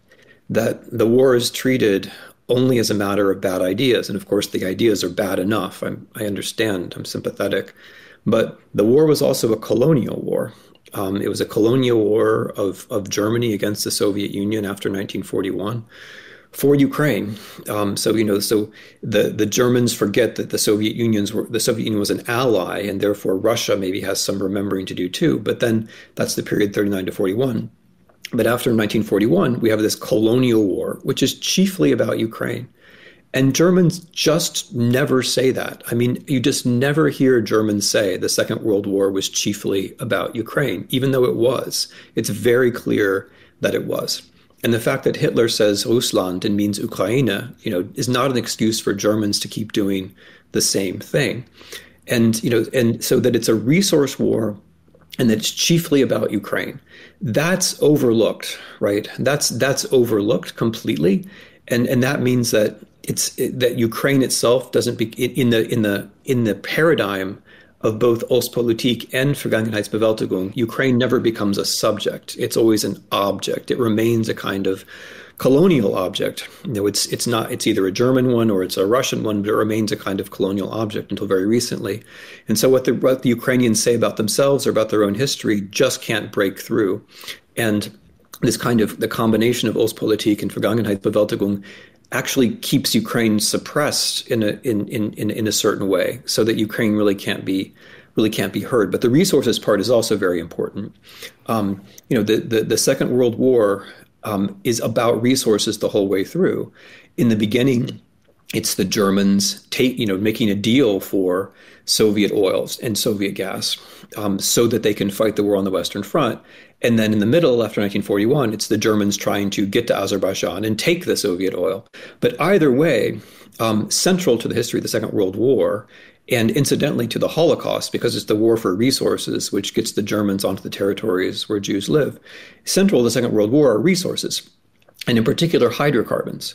And so, if you're going to begin a policy um, which you know involves involves hydrocarbons and the East, that there should be some contact between that and and Vergangenheitsbewältigung. But there never was, as far as I know. You know, when Germany gave up nuclear power, I don't think anyone connected that to to the history of hydrocarbons in the East. When Nord Stream two, you know, which was a scandal from the beginning, very few people made the connection between that and natural resources. So those are the those are the three things that have been that have been on my mind. And even when you say it was, uh, I mean, the Second World War was a war about resources, I don't even think that is part of the German narrative on the Second World War in the broader debate, for, for, so to say. But uh, let me just understand because I know people are going to think about that. You say the German mistake. My question was uh, tending towards this direction, but the whole European Union is dependent on Russian energy. So um, it's not just the German perspective there must be a whole lot of other European countries who have joined this perspective. How would you um, describe the the interdependencies between the German role and the other European countries that are currently faster in acting against Russian aggression, but still in the past have been just as blind as Germany was? Yeah, I mean that that's a fair question, and you know the the and and whether what I'm saying about Germany is fair or not depends upon whether one takes seriously Vergangenheitsbewältigung or not, because none of the other European countries take as seriously as Germany the need to understand the past. And I, I think the Germans are right about this. I think the Germans are absolutely right that the future of democracy depends on constant critical engagement with the past. And I, I, very often point this out to Americans because we're not doing a very good job of it. And so I'm I'm holding Germany to a to a different standard because the, it, because the Second World War is more centrally German history than it is, say, French history or or Dutch history or Belgian history. But I'm also trying to engage in the paradigm that the Germans themselves propound, which is that we have learned from the past and therefore our democracy flourishes.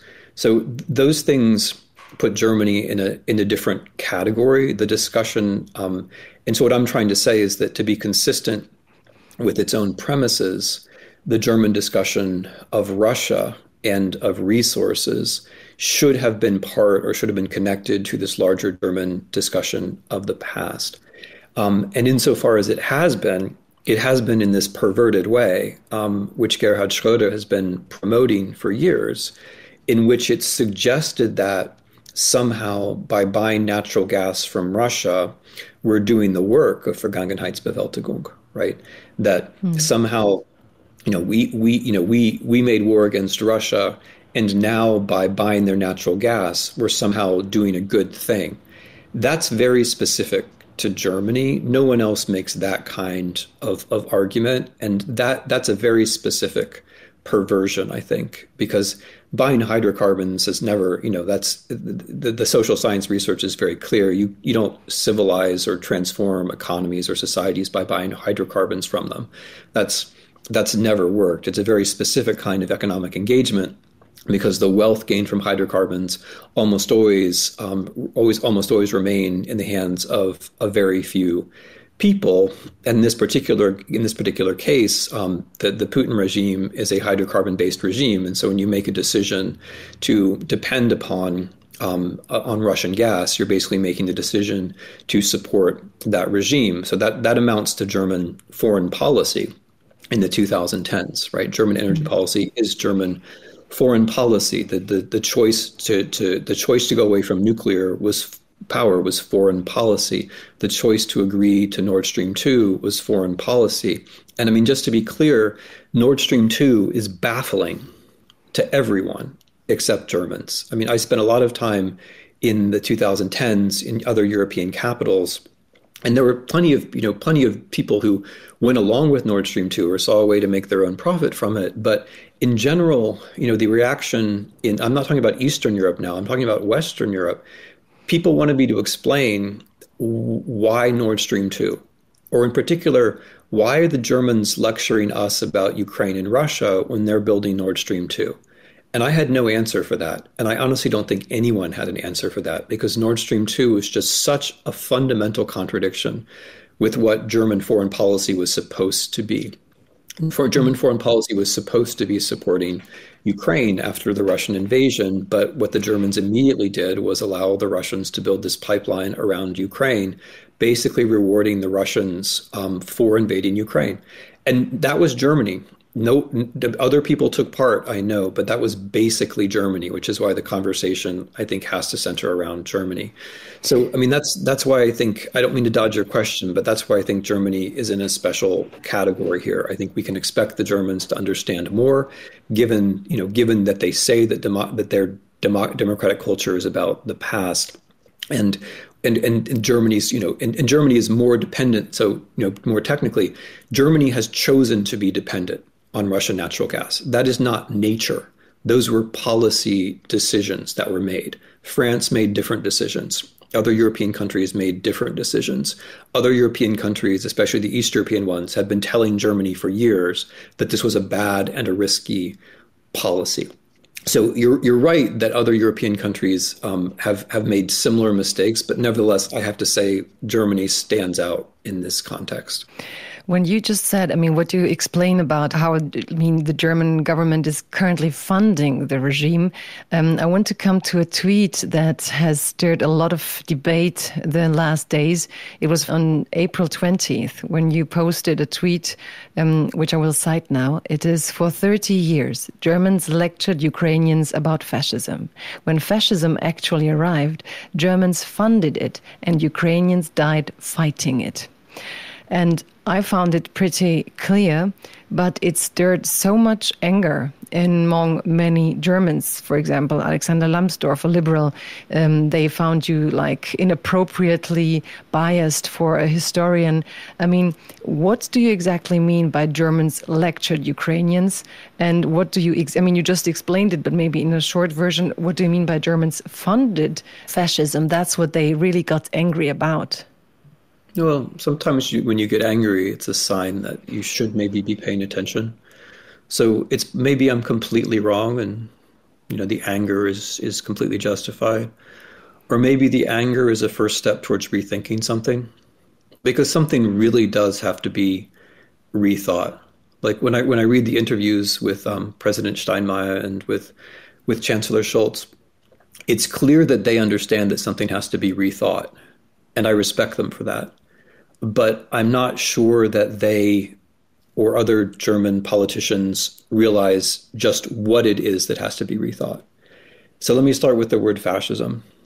It somehow has been acceptable in Germany for decades to worry about fascism in countries that Germany doesn't buy lots of, lots of natural resources from, put it that way it's perfectly acceptable to criticize Poland or Lithuania or Ukraine.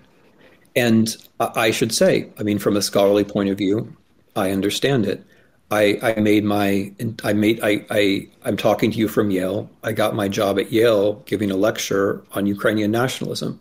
I wrote I've written several articles. In fact, I wrote the first major article about Ukrainian nationalism and ethnic cleansing during the Second World War. Um, I've written a lot of contemporary articles criticizing particular Ukrainian memorial practices, and I stand by all of them. But what I'm saying is that there's a weird disproportion where um, Germans habitually criticize the far right in Ukraine, which is um, which has never gotten more than three percent in a recent election, um, which is not in the government, right? Which is less important by far than the, than the far right in Germany, right? Less important by far than the far right in Germany. Less important by far than the far right in most of Germany's neighbors, including France, as we've just seen, right? So, so there's a strange disproportion and this strange blindness where fine, you know, there there is a there is a far right. It's legitimate to talk about the far right everywhere, but no one seems to, you know, but but but the the coverage of the Ukrainian far right has been, I think, overdone um, in in proportion to other things that Germans might have been learning about Ukraine. Right? Germans might have. I mean, what is it that Germans haven't learned about Ukraine, which would help to explain how Ukraine has a Jewish president who was elected by 73% of the vote?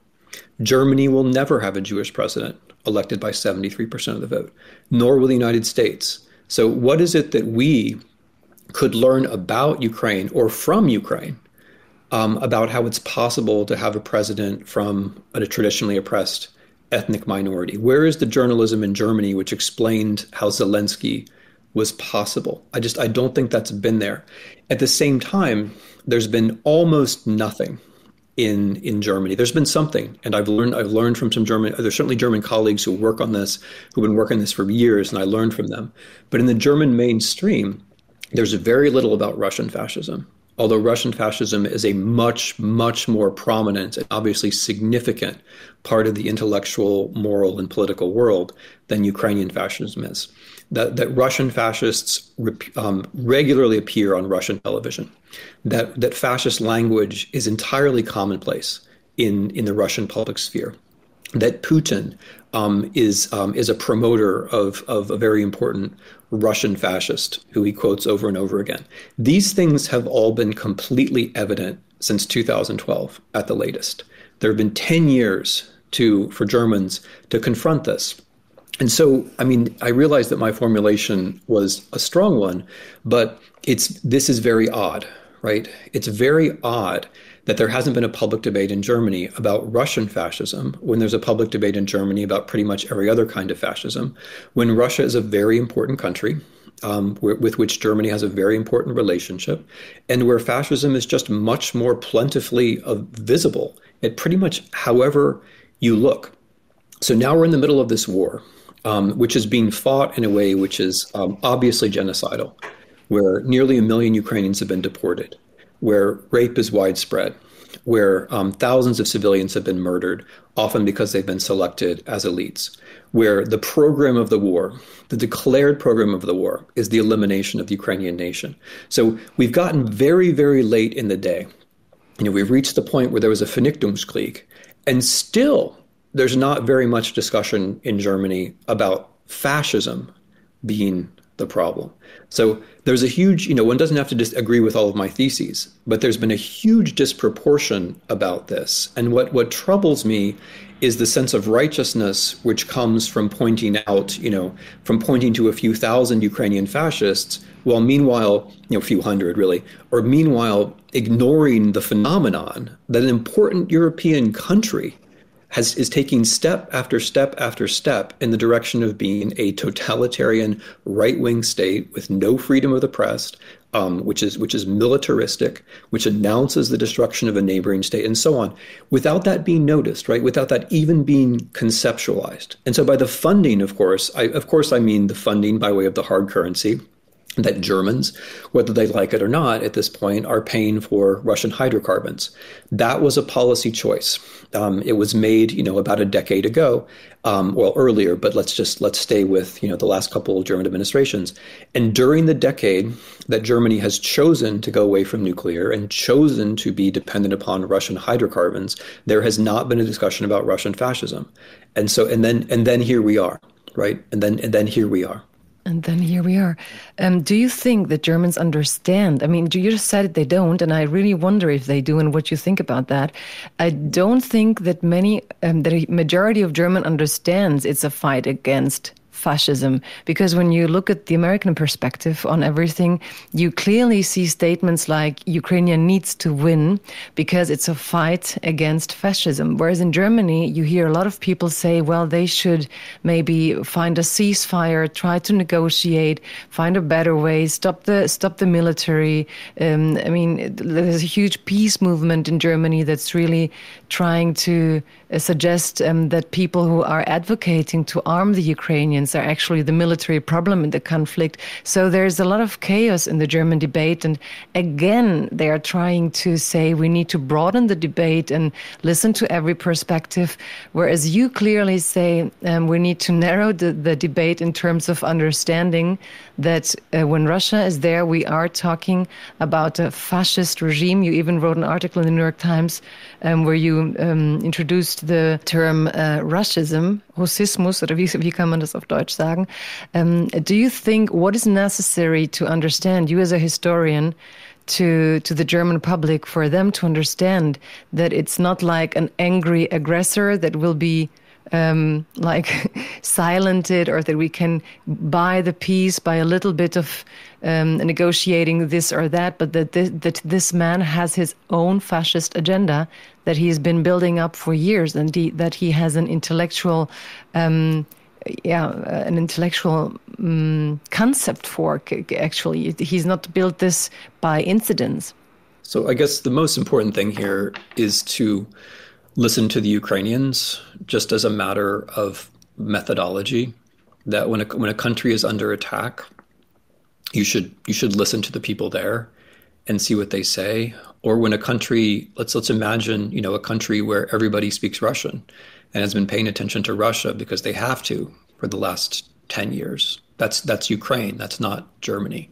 So you were kind enough to mention my New York Times article on on um, let's call it Russia's and is very good. Um, that so that's a term. That term in Ukrainian is. Um, in Russian too, it's fascism. That term means Russian fascism, and it's an it's an it's an everyday use in Ukraine. It's what Ukrainians use to describe Russian atrocities. And I think the fact that millions of Ukrainians use that word should give other people pause because it could be that they're right right? You know, it's worth thinking about, it's worth debating, of course, but it could be that they're right. It could be the people who have direct experience with the Russian occupation and a lot more experience with Russia, direct experience with, with Russia than we do. It could be that they're right and that we're wrong. So listen, I think listening to the Ukrainians is is is very important here. You know, it, it, can be irritating because people who are at war can be, you know, people who are invaded can be, they can be they can be irritating because they want you to they want you to change your mind quickly. But I think listening to them and treating them as as sovereign is a good is a good start. And this that's my second point. It's about sovereignty. Um, you know, the, a lot of the German discussion that you're citing, um, and we have that in the U.S. too it assumes that the Ukrainians are not sovereign. It assumes that if Germany didn't give weapons, they wouldn't fight, which is just not true. They're going to fight anyway. And they're going to fight for reasons which they understand very well, um, which is that this is a war of extermination. This is a war which is which is designed to destroy the Ukrainian nation as such. That's how the Russians talk about it, and that's also how the Ukrainians experience it. That's how they experience it in the in the rapes of young girls. That's how they experience it in the deportations. That's how they experience it in the target murders of of local elites. Um, and so we could stop giving them weapons, but they're still going to fight. They're still going to fight. We can stop giving them weapons, but that doesn't mean they're going to they're going to say, "Oh, we give up Kiev or Kharkiv." They're not going to give up those cities. They may lose um, they may lose those cities. Uh, I don't think they will, but they, but they may. But they're not going to give them up.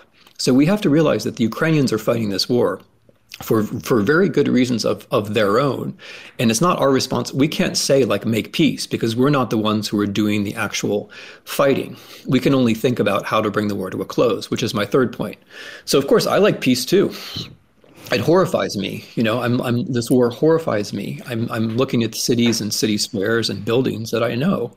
You know, I'm looking at buildings that I've been in, in squares that I enjoyed walking across, like places where I've sat with friends that are now in ruins. Um, I, I, I, have all of these friends who are now, you know, basically none of whom are at home. Um, you know, that's it's it's horrifying. The scale of the death is horrifying. Of course, everyone wants this war to come to an end. The question is how just giving, I mean, giving up is not an option. The Ukrainians aren't going to do it, but it's a big illusion to say all you have to do is give up. If the Ukrainians were to give up, the war would continue. It would just continue in its simple genocidal form with no resistance. So that's you know that's it's an illusion to think you can just like be, you can just sort of be innocent, right? Going back to this whole thing of German innocence, where you just say some kind of incredibly simplistic thing, and you say like like how could we know this was coming, or shouldn't everyone just stop fighting, right?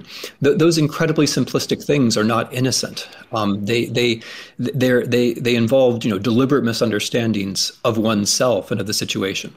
So I want this war to end. I really want this war to end. But understanding what I understand about the Putin regime um, and this person, who I've been studying in his own language attentively for his entire career, I don't think this war ends until he feels the pressure himself. And he doesn't feel the pressure himself until there are a series of symbolic defeats, which mean which mean real defeats. So everyone who wants this war to come to an end should be trying to help the Ukrainians win it as quickly as possible. But Germans, especially Scholz, they come up with the fear of an atomic war. So you, by being such a deeply involved with Putin's um, history and Russian history. How big is the threat? What do you think? And do you think it's justifiable that Scholz says, "I have to be careful because I'm responsible for my nation, and we are we have we don't have atomic weapons, and um, Russia is an atomic superpower." So there's a huge against German angst coming up of what's going to happen if Putin does the worst thing imaginable. Well, okay, so so so number one, that's a very easy out to give in to nuclear blackmail, right? It's very easy because that, that just means that as soon as so so Russia could do it, I mean, then China could do it, right? Anyone could do it to you, and then as soon as you say, "Oh, there's a risk of nuclear blackmail, therefore we're not a sovereign state," and you throw up your hands, and you don't have a foreign policy, and you feel good about yourself because you say, "Oh, well, I'm trying, I'm preventing nuclear war." But you're just what you're really doing is you're just giving into nuclear blackmail. That's that's all you're doing, and and uh, so if you want to feel good about giving into blackmail, that's fine. But it's um I don't think it's a very responsible position. Number two, I don't think it's a very realistic position there's no reason to think that mutually assured destruction works any better or any worse than it has before. Um, it's generally been, you know, the, the, the nuclear posture of, of the West is based upon this assumption of mutually assured destruction. There's no reason to think that Putin wants to die. On the contrary, he seems like a man who very much wants to live. Um, so I don't. I think it's actually irresponsible to repeat um, you know, Russian nuclear blackmail propaganda in public. That's that's my view. I think it's a way of tying your own hands or holding out your own hands and asking them for them to be tied. And you know, the the the, the Germany, you know, again, Germany stands out in this. You're not going to find that many prime ministers of that many European countries who are talking the same language, and they are they are all also just as vulnerable as as Germany is to to this to this threat. So I, I mean, and then the final thing I would say about this is, if the best, you know, I'm, I'm, I'm alert. I mean, as a, as a historian who's worked on on war, I'm, I'm alert to the possibility that wars are, will go in unexpected directions. The best way to prevent this war from going in unexpected directions is to bring it to a close. But the only way to bring it to a close is for the Ukrainians to win. The idea that Russia wins and it's over is completely illusory. If Russia wins in the Donbass, then Russia goes for Kiev. If Russia goes for Kiev, you know, then there's Moldova, um, then there are the then there are the Baltics, and then you're dealing with a power which has shown that an autocracy, however you wish to call it, autocracy can defeat a democracy on the battlefield and humiliate the West. And then if you're Chancellor Scholz, that is your legacy. And that is also your political future. That's what you will be dealing with. Yeah, because a Russian victory doesn't end anything. A Russian victory just transforms the face of Europe in a way which is entirely negative from the point of view of, of Berlin. So to, if you want to minim- I mean, if you want to minimize these risks, you need to keep the, you need to get this war over in May or June. But if you want to get this war over in May or June, you have to stop thinking up reasons why you can't arm the Ukrainians. You have studied um, Russia and Putin deeply. What do you think if um, Putin was asked, this podcast is about freedom and Ukrainians are fighting for freedom? If you ask Putin, what's freedom, what would he answer? Uh, in his rhetoric, freedom means. Uh, I mean, this is it's interesting because we started this conversation about fascism, and he has a very interesting Christian fascist view of this. Um, I mean, the strain of fascism, just to be you know technically clear about all this, which is important in Russia, is similar to Romanian fascism in the in the 20s and 30s. Um, it it uh, it works from Orthodox Christianity and and from a kind of assumption that the world is flawed, the world is broken and fragmented, and and Russia has the special mission of healing it so Putin's rhetoric about historical unity and spiritual unity of Russia and Ukraine comes from this place that the world is fragmented and Russia has this kind of mission to, to, to, to heal the world. Only Russians can do it. and uh, and and they, they do it starting with Ukraine. So when when they invade Ukraine and and kill the Ukrainian intelligentsia and uh, eliminate Ukraine, you know, as a society or as a culture, from Putin's point of view, all they're doing is restoring Ukrainians to what they were, which is part of the body of the Russian nation. Putin's notion of freedom would be you've given yourself up totally um, to this to this Russian, you know, to this coherent Russian body. That you've given yourself up to um, to, to, to the idea of Russia. What and the idea of Russia, of course, is just coextensive with whatever the leaders of Russia happen to say that it is at that at that moment. So that I think that that would be his idea of freedom. And I'm glad you asked the question because people ask you know, all the time, what's the difference between Ukraine and Russia or between Ukrainians and Russians? And they want an easy answer like it's that's this language. And language is very important. It matters a lot that Ukrainians speak two of them and Russians speak one. Um, but but more important are the dominant political ideas where, you know, in, in Ukraine, like the, the kind of idea that I just talked about is is is kind of laughable. I mean, Ukrainians don't even bother to refute it. Like they really don't like central authority. Um, they're kind of naturally decentralized and pluralistic, and they don't see the nation as being some kind of coherent, homogenous whole. And they don't, you know, and they they understand intuitively, even if they wouldn't use the concepts that I'm using, that what Putin's model means is a highly centralized state, um, which is based upon vertical lines of authority and where dissent is understood as treason and so and so forth. And they're very much against those things. You know, they're very much they're very much against those things. And so that's that's a that's a difference between Ukraine and Russia. Like the Ukrainians understand the Ukrainians understand where this is all coming from. And I think that's one of the reasons why they use the word fascism more readily than than, than we do. But their political culture is just very different. So, in terms of that, I would understand that the Ukrainians, with their fight for freedom and autonomy, and the understanding that Putin has of freedom, is sort of a subjugation to the Russian nation. Um, Whereas, as Andruchovich nicely pointed out, the Ukrainians have two concepts. One is sloboda, and the other is like a will or a personal um, freedom of a person. So um, that also explains maybe the strength of their fight against such an absolutely totalitarian concept of freedom as as as Putin has it as like um, owning the individual for the higher nation that he has created and that he is head of, like like Putin Putin the Great. Um, I, I think it makes a lot of sense to me because that's been that's my journey with this podcast to understand the strengths of the Ukrainians and also the darkness of Putin's Russia. I just need maybe a short last answer. In Germany, we have this thing: is it Putin's war? Is it Russia's war? How responsible are the Russian people who also live under this authoritarian dictator? So, um, how much uh, of the responsibility belongs to Russia as a whole, or how deep is Putin's state? How deeply established is the authoritarian regime? Well, let me let me try to bring some of the threads of this conversation together, because I I agree with the basic German premise about democracy and about empire, which is that, um, you know, I mean, I agree with the, the Habermas's basic idea uh, that you you have to have a constant dialogue about the past in order to have democracy in the present. Um, why why am I saying that? I'm saying that because I'm confident that Germans will take in the experiences that we're talking about um, and will adjust. Um, I'm confident of that, and but I say it also because it bears on this question of, of, of what we can expect from Russians. Russians are at the at the opposite of the the opposite extreme. Um, there is it's very difficult to talk about the past in Russia.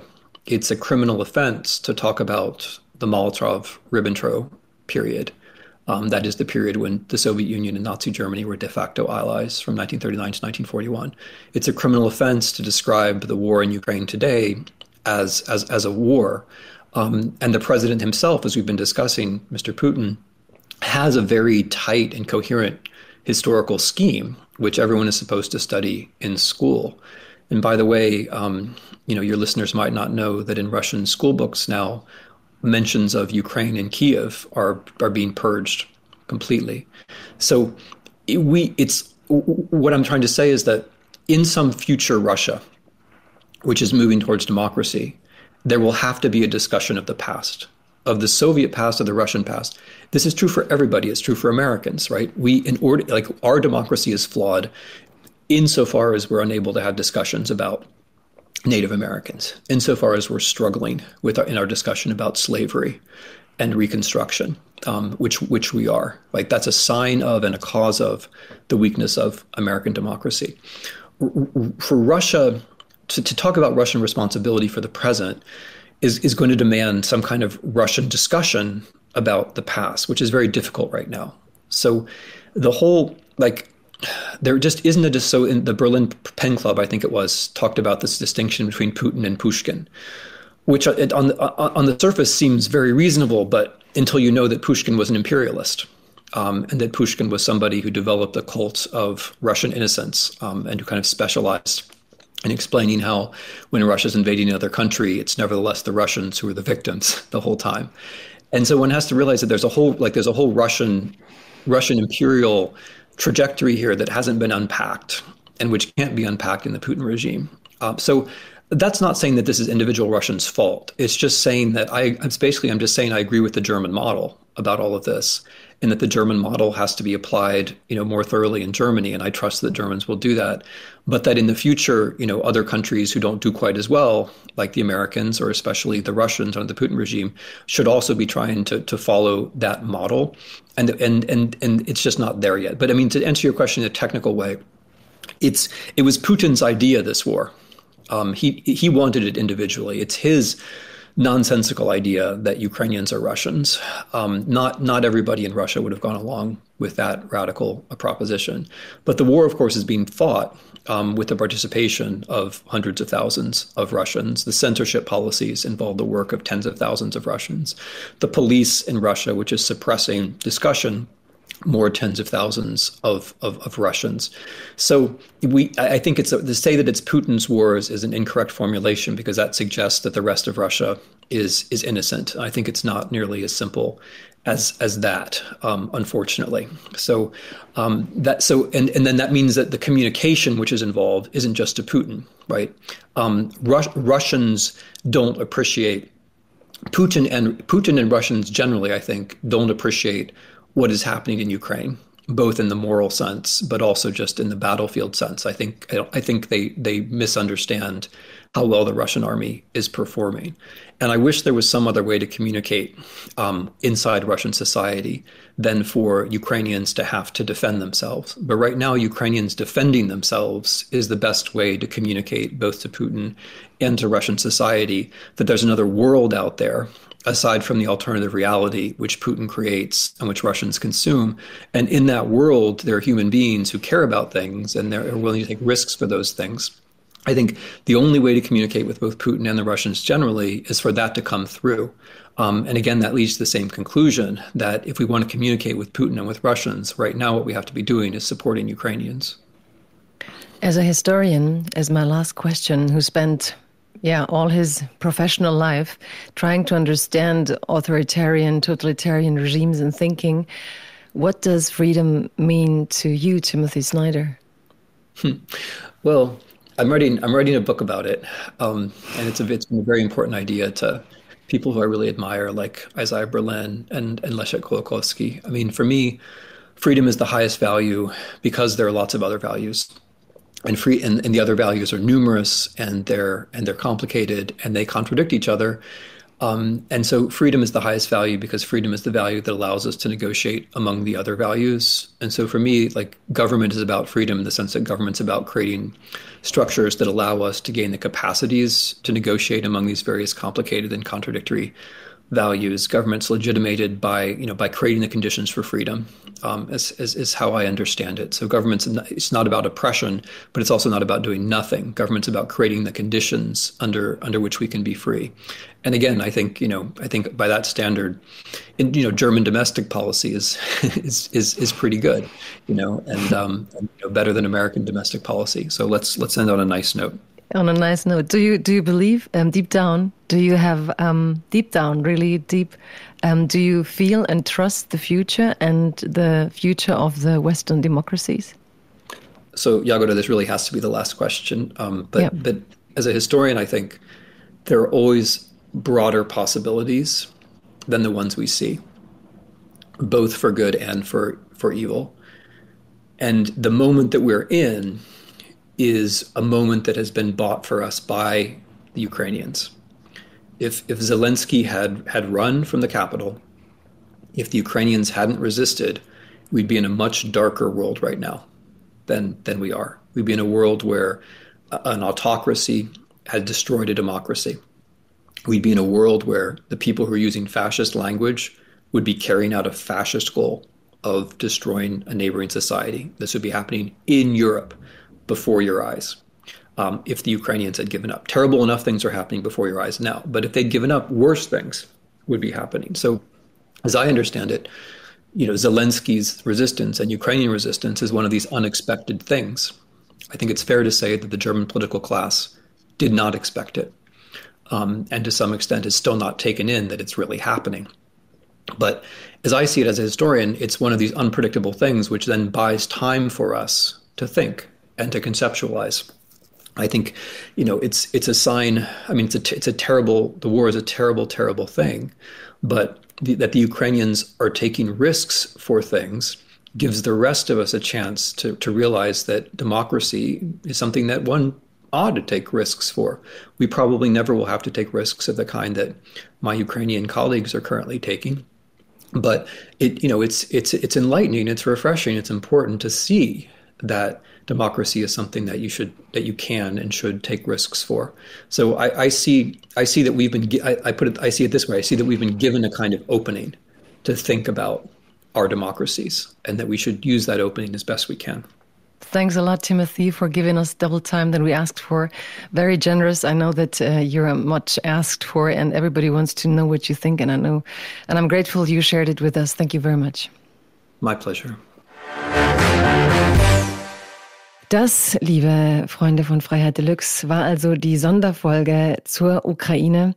Ich habe versucht, mit euch auf eine Reise zu gehen, mit Fragen, die ich selber habe an diesen Krieg, ähm, über Menschen, die mit der Ukraine verbunden sind, aber in Deutschland leben, die für mich Katja Petrovskaya vertreten hat, Juri Andruchowitsch als jemanden vor Ort und Timothy Snyder als jemand, dessen Bücher ich äh, verschlungen habe, kann man nicht sagen, aber versucht habe zu verstehen, weil sie einfach so tief sind und so viel profundes Wissen haben.